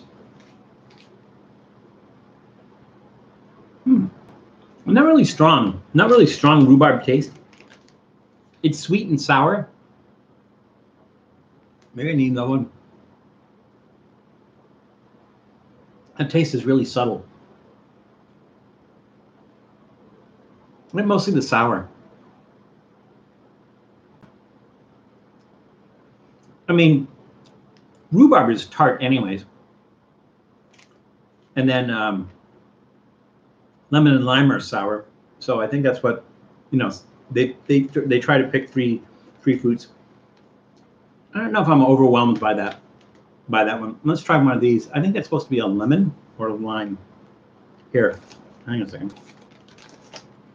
So we got two. Like one is green, this one, and this one is is like almost white. Maybe the green one is the lime and the light colored one is lemon. Let's see. Slaw dogs are wow. Holy crap. That one's a lot more sour than the other one was. Slaw dogs were mentioned in the song Dumas Walker by the Kentucky Headhunters. Oh.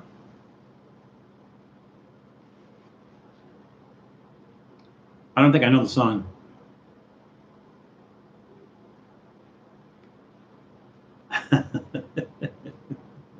oh, John. Carolina style hot dog has sauerkraut and kumquats. I, uh, wow. I can't even imagine what it'd be like to eat a, a, um, a hot dog with sauerkraut and kumquats on it. It would be like so sour.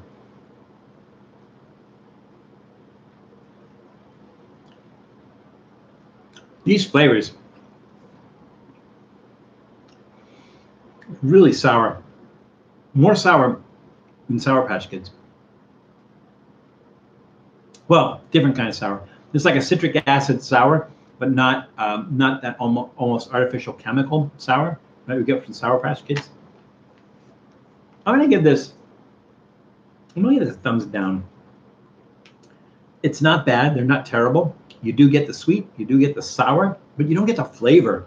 It's like uh, like those last two. I can't tell. My mouth can't tell which is the lemon and which is the lime. And the rhubarb one was like I did, to me it didn't taste like rhubarb. So so the sour is there, the sweet is there, but the flavor is missing completely. Um, I'm gonna have to get a thumbs thumbs down. So let's go back and visit our card. And uh, yes, another Sunday stream, Rugged Child. You were absolutely correct. Um, what, what happened was um, we were filming at the Orange County Fair because I'm now working during the week. I couldn't get to the Orange County Fair during the week, so I had to do it on a Saturday. And because uh, uh, we filmed with uh, Matt Zion from Reckless Eating and Majestic Beard, and um, so we had to push the, the stream to Sunday. Next week it'll be back on Saturday. So if you're watching and if you're if you're putting it on your calendar, go ahead and put it back on for Saturday next week. So the question was, uh, what is Carolina style as it pertains to hot dogs?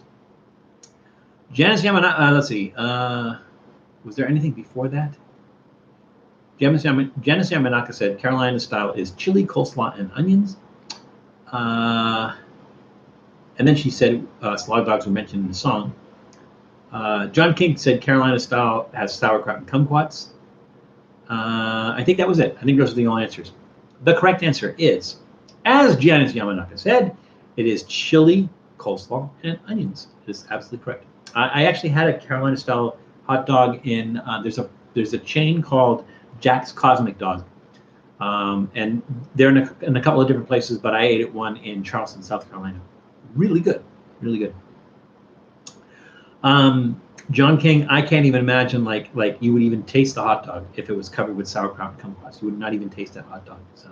Uh, interesting though, I, I, you know, I wouldn't, I wouldn't, um, I wouldn't discount that though. I, I maybe if, if it's more like a sausage as opposed to a hot dog, that sauerkraut and kumquats might actually be nice on that. Uh, but it have to be very a very strong, very meaty sausage, I think, um, to put sauerkraut kumquats in, it, and that could work. It could absolutely work. Uh, did I miss? Let's see. Um, hard to beat a good Chicago dog. Absolutely there's so many different types of so there is a restaurant here in los angeles called well it's actually in san Reseda called fab's hot dogs and what fab's hot dogs is does is they do their take of famous hot dogs from all over the places so um, in new jersey there's a place called rutt's hut that's famous for inventing a, a, hot dog called the ripper and basically what they do is they put it in the in, in the fryer and they just leave it in there until the skin cracks open. So the inside is hot and pink, and the outside is like chewy, um, almost burnt. And um, so they have varying levels of that. Like they have something called a Weller, which is like well done. Then they have something called the cremator, and they basically say they don't they don't make the cremator very often because it's it's almost inedible. It's like wood, like trying to eat wood.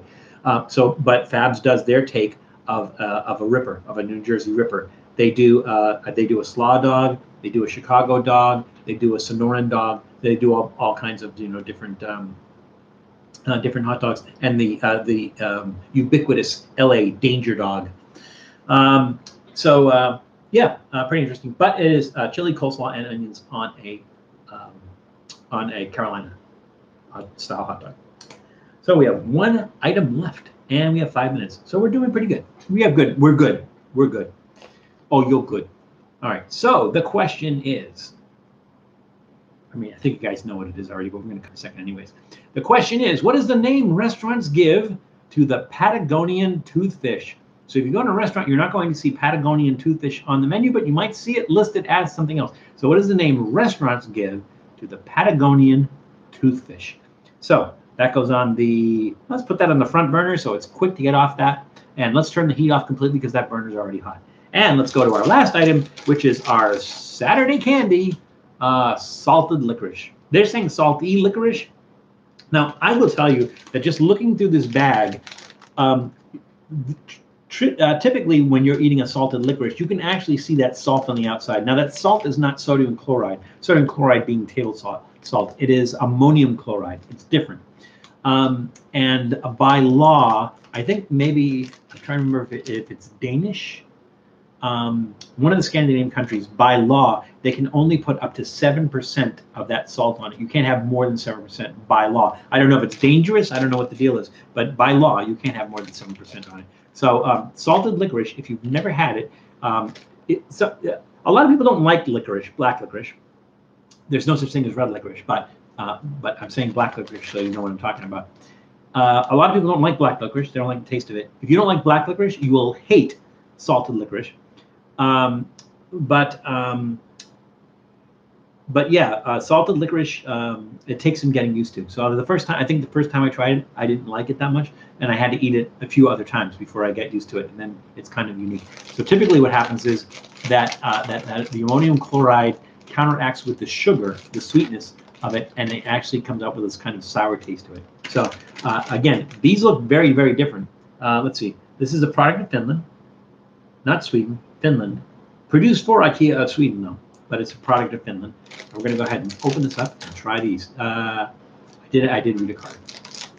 What's an LA dog? Uh, so Stoner, an LA dog is what they call a danger dog, a street dog. So it's basically um, if you ever go to like a sporting event or something outside on the street, you have that guy with like a shopping cart with a sterno thing inside it and a metal tray on top of it, and he's cooking the bacon wrapped hot dogs with peppers and onions and stuff. That's that's an LA dog.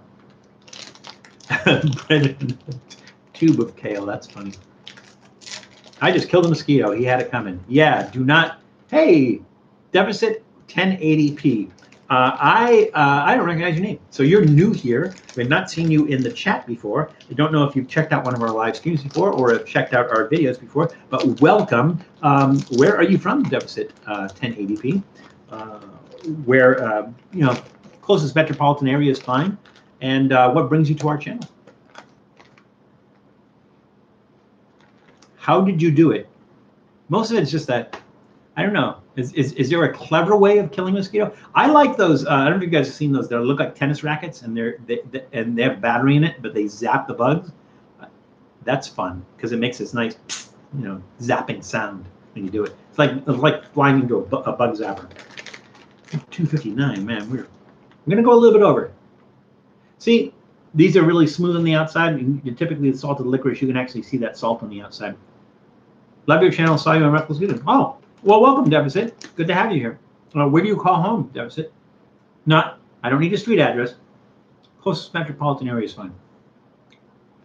Yeah, I mean, it's so satisfying because, like, you're sitting there on the porch, you get the bug zapper behind you, then you hear that zap, and you go, like, got one.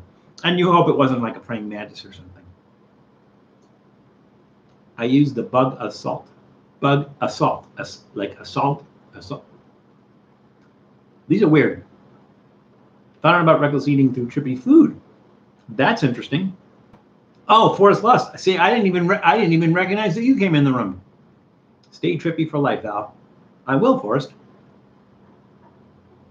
I found out about reckless eating through trippy food. That's funny. Most people say the way around. They find out for me from reckless eating, but either way, our channels are, are are different enough for it to be entertaining when we're both on each other's channels. I think that's just me. Those guns are really cool. Bug-A-Salt. Oh, that's a it's a it's a gun. It's like a does it, like it shoots something at the bug. I'm going to say that these are not as strong as typical salted licorice. They do have, I mean, they do have that that little kind of sour taste from the um, ammonium chloride, but they're not as over the top as some salted licorice. So this would, this in my opinion, would be a good entry level point for someone who wanted to try salted licorice for the first first time. If you're going to do, if you want to do that, you want to see what salted licorice is like, try this one first, and then start to go for the more hardcore ones. I would recommend that. So I'm to give a thumbs up, like I said, because it's it's kind of easy going from a salted licorice standpoint, um, and, and, it seems like it's more blended in there, and you don't you don't get that the crystals of salt on the outside of it and everything. I'm give a thumbs up for those. So it shoots salt.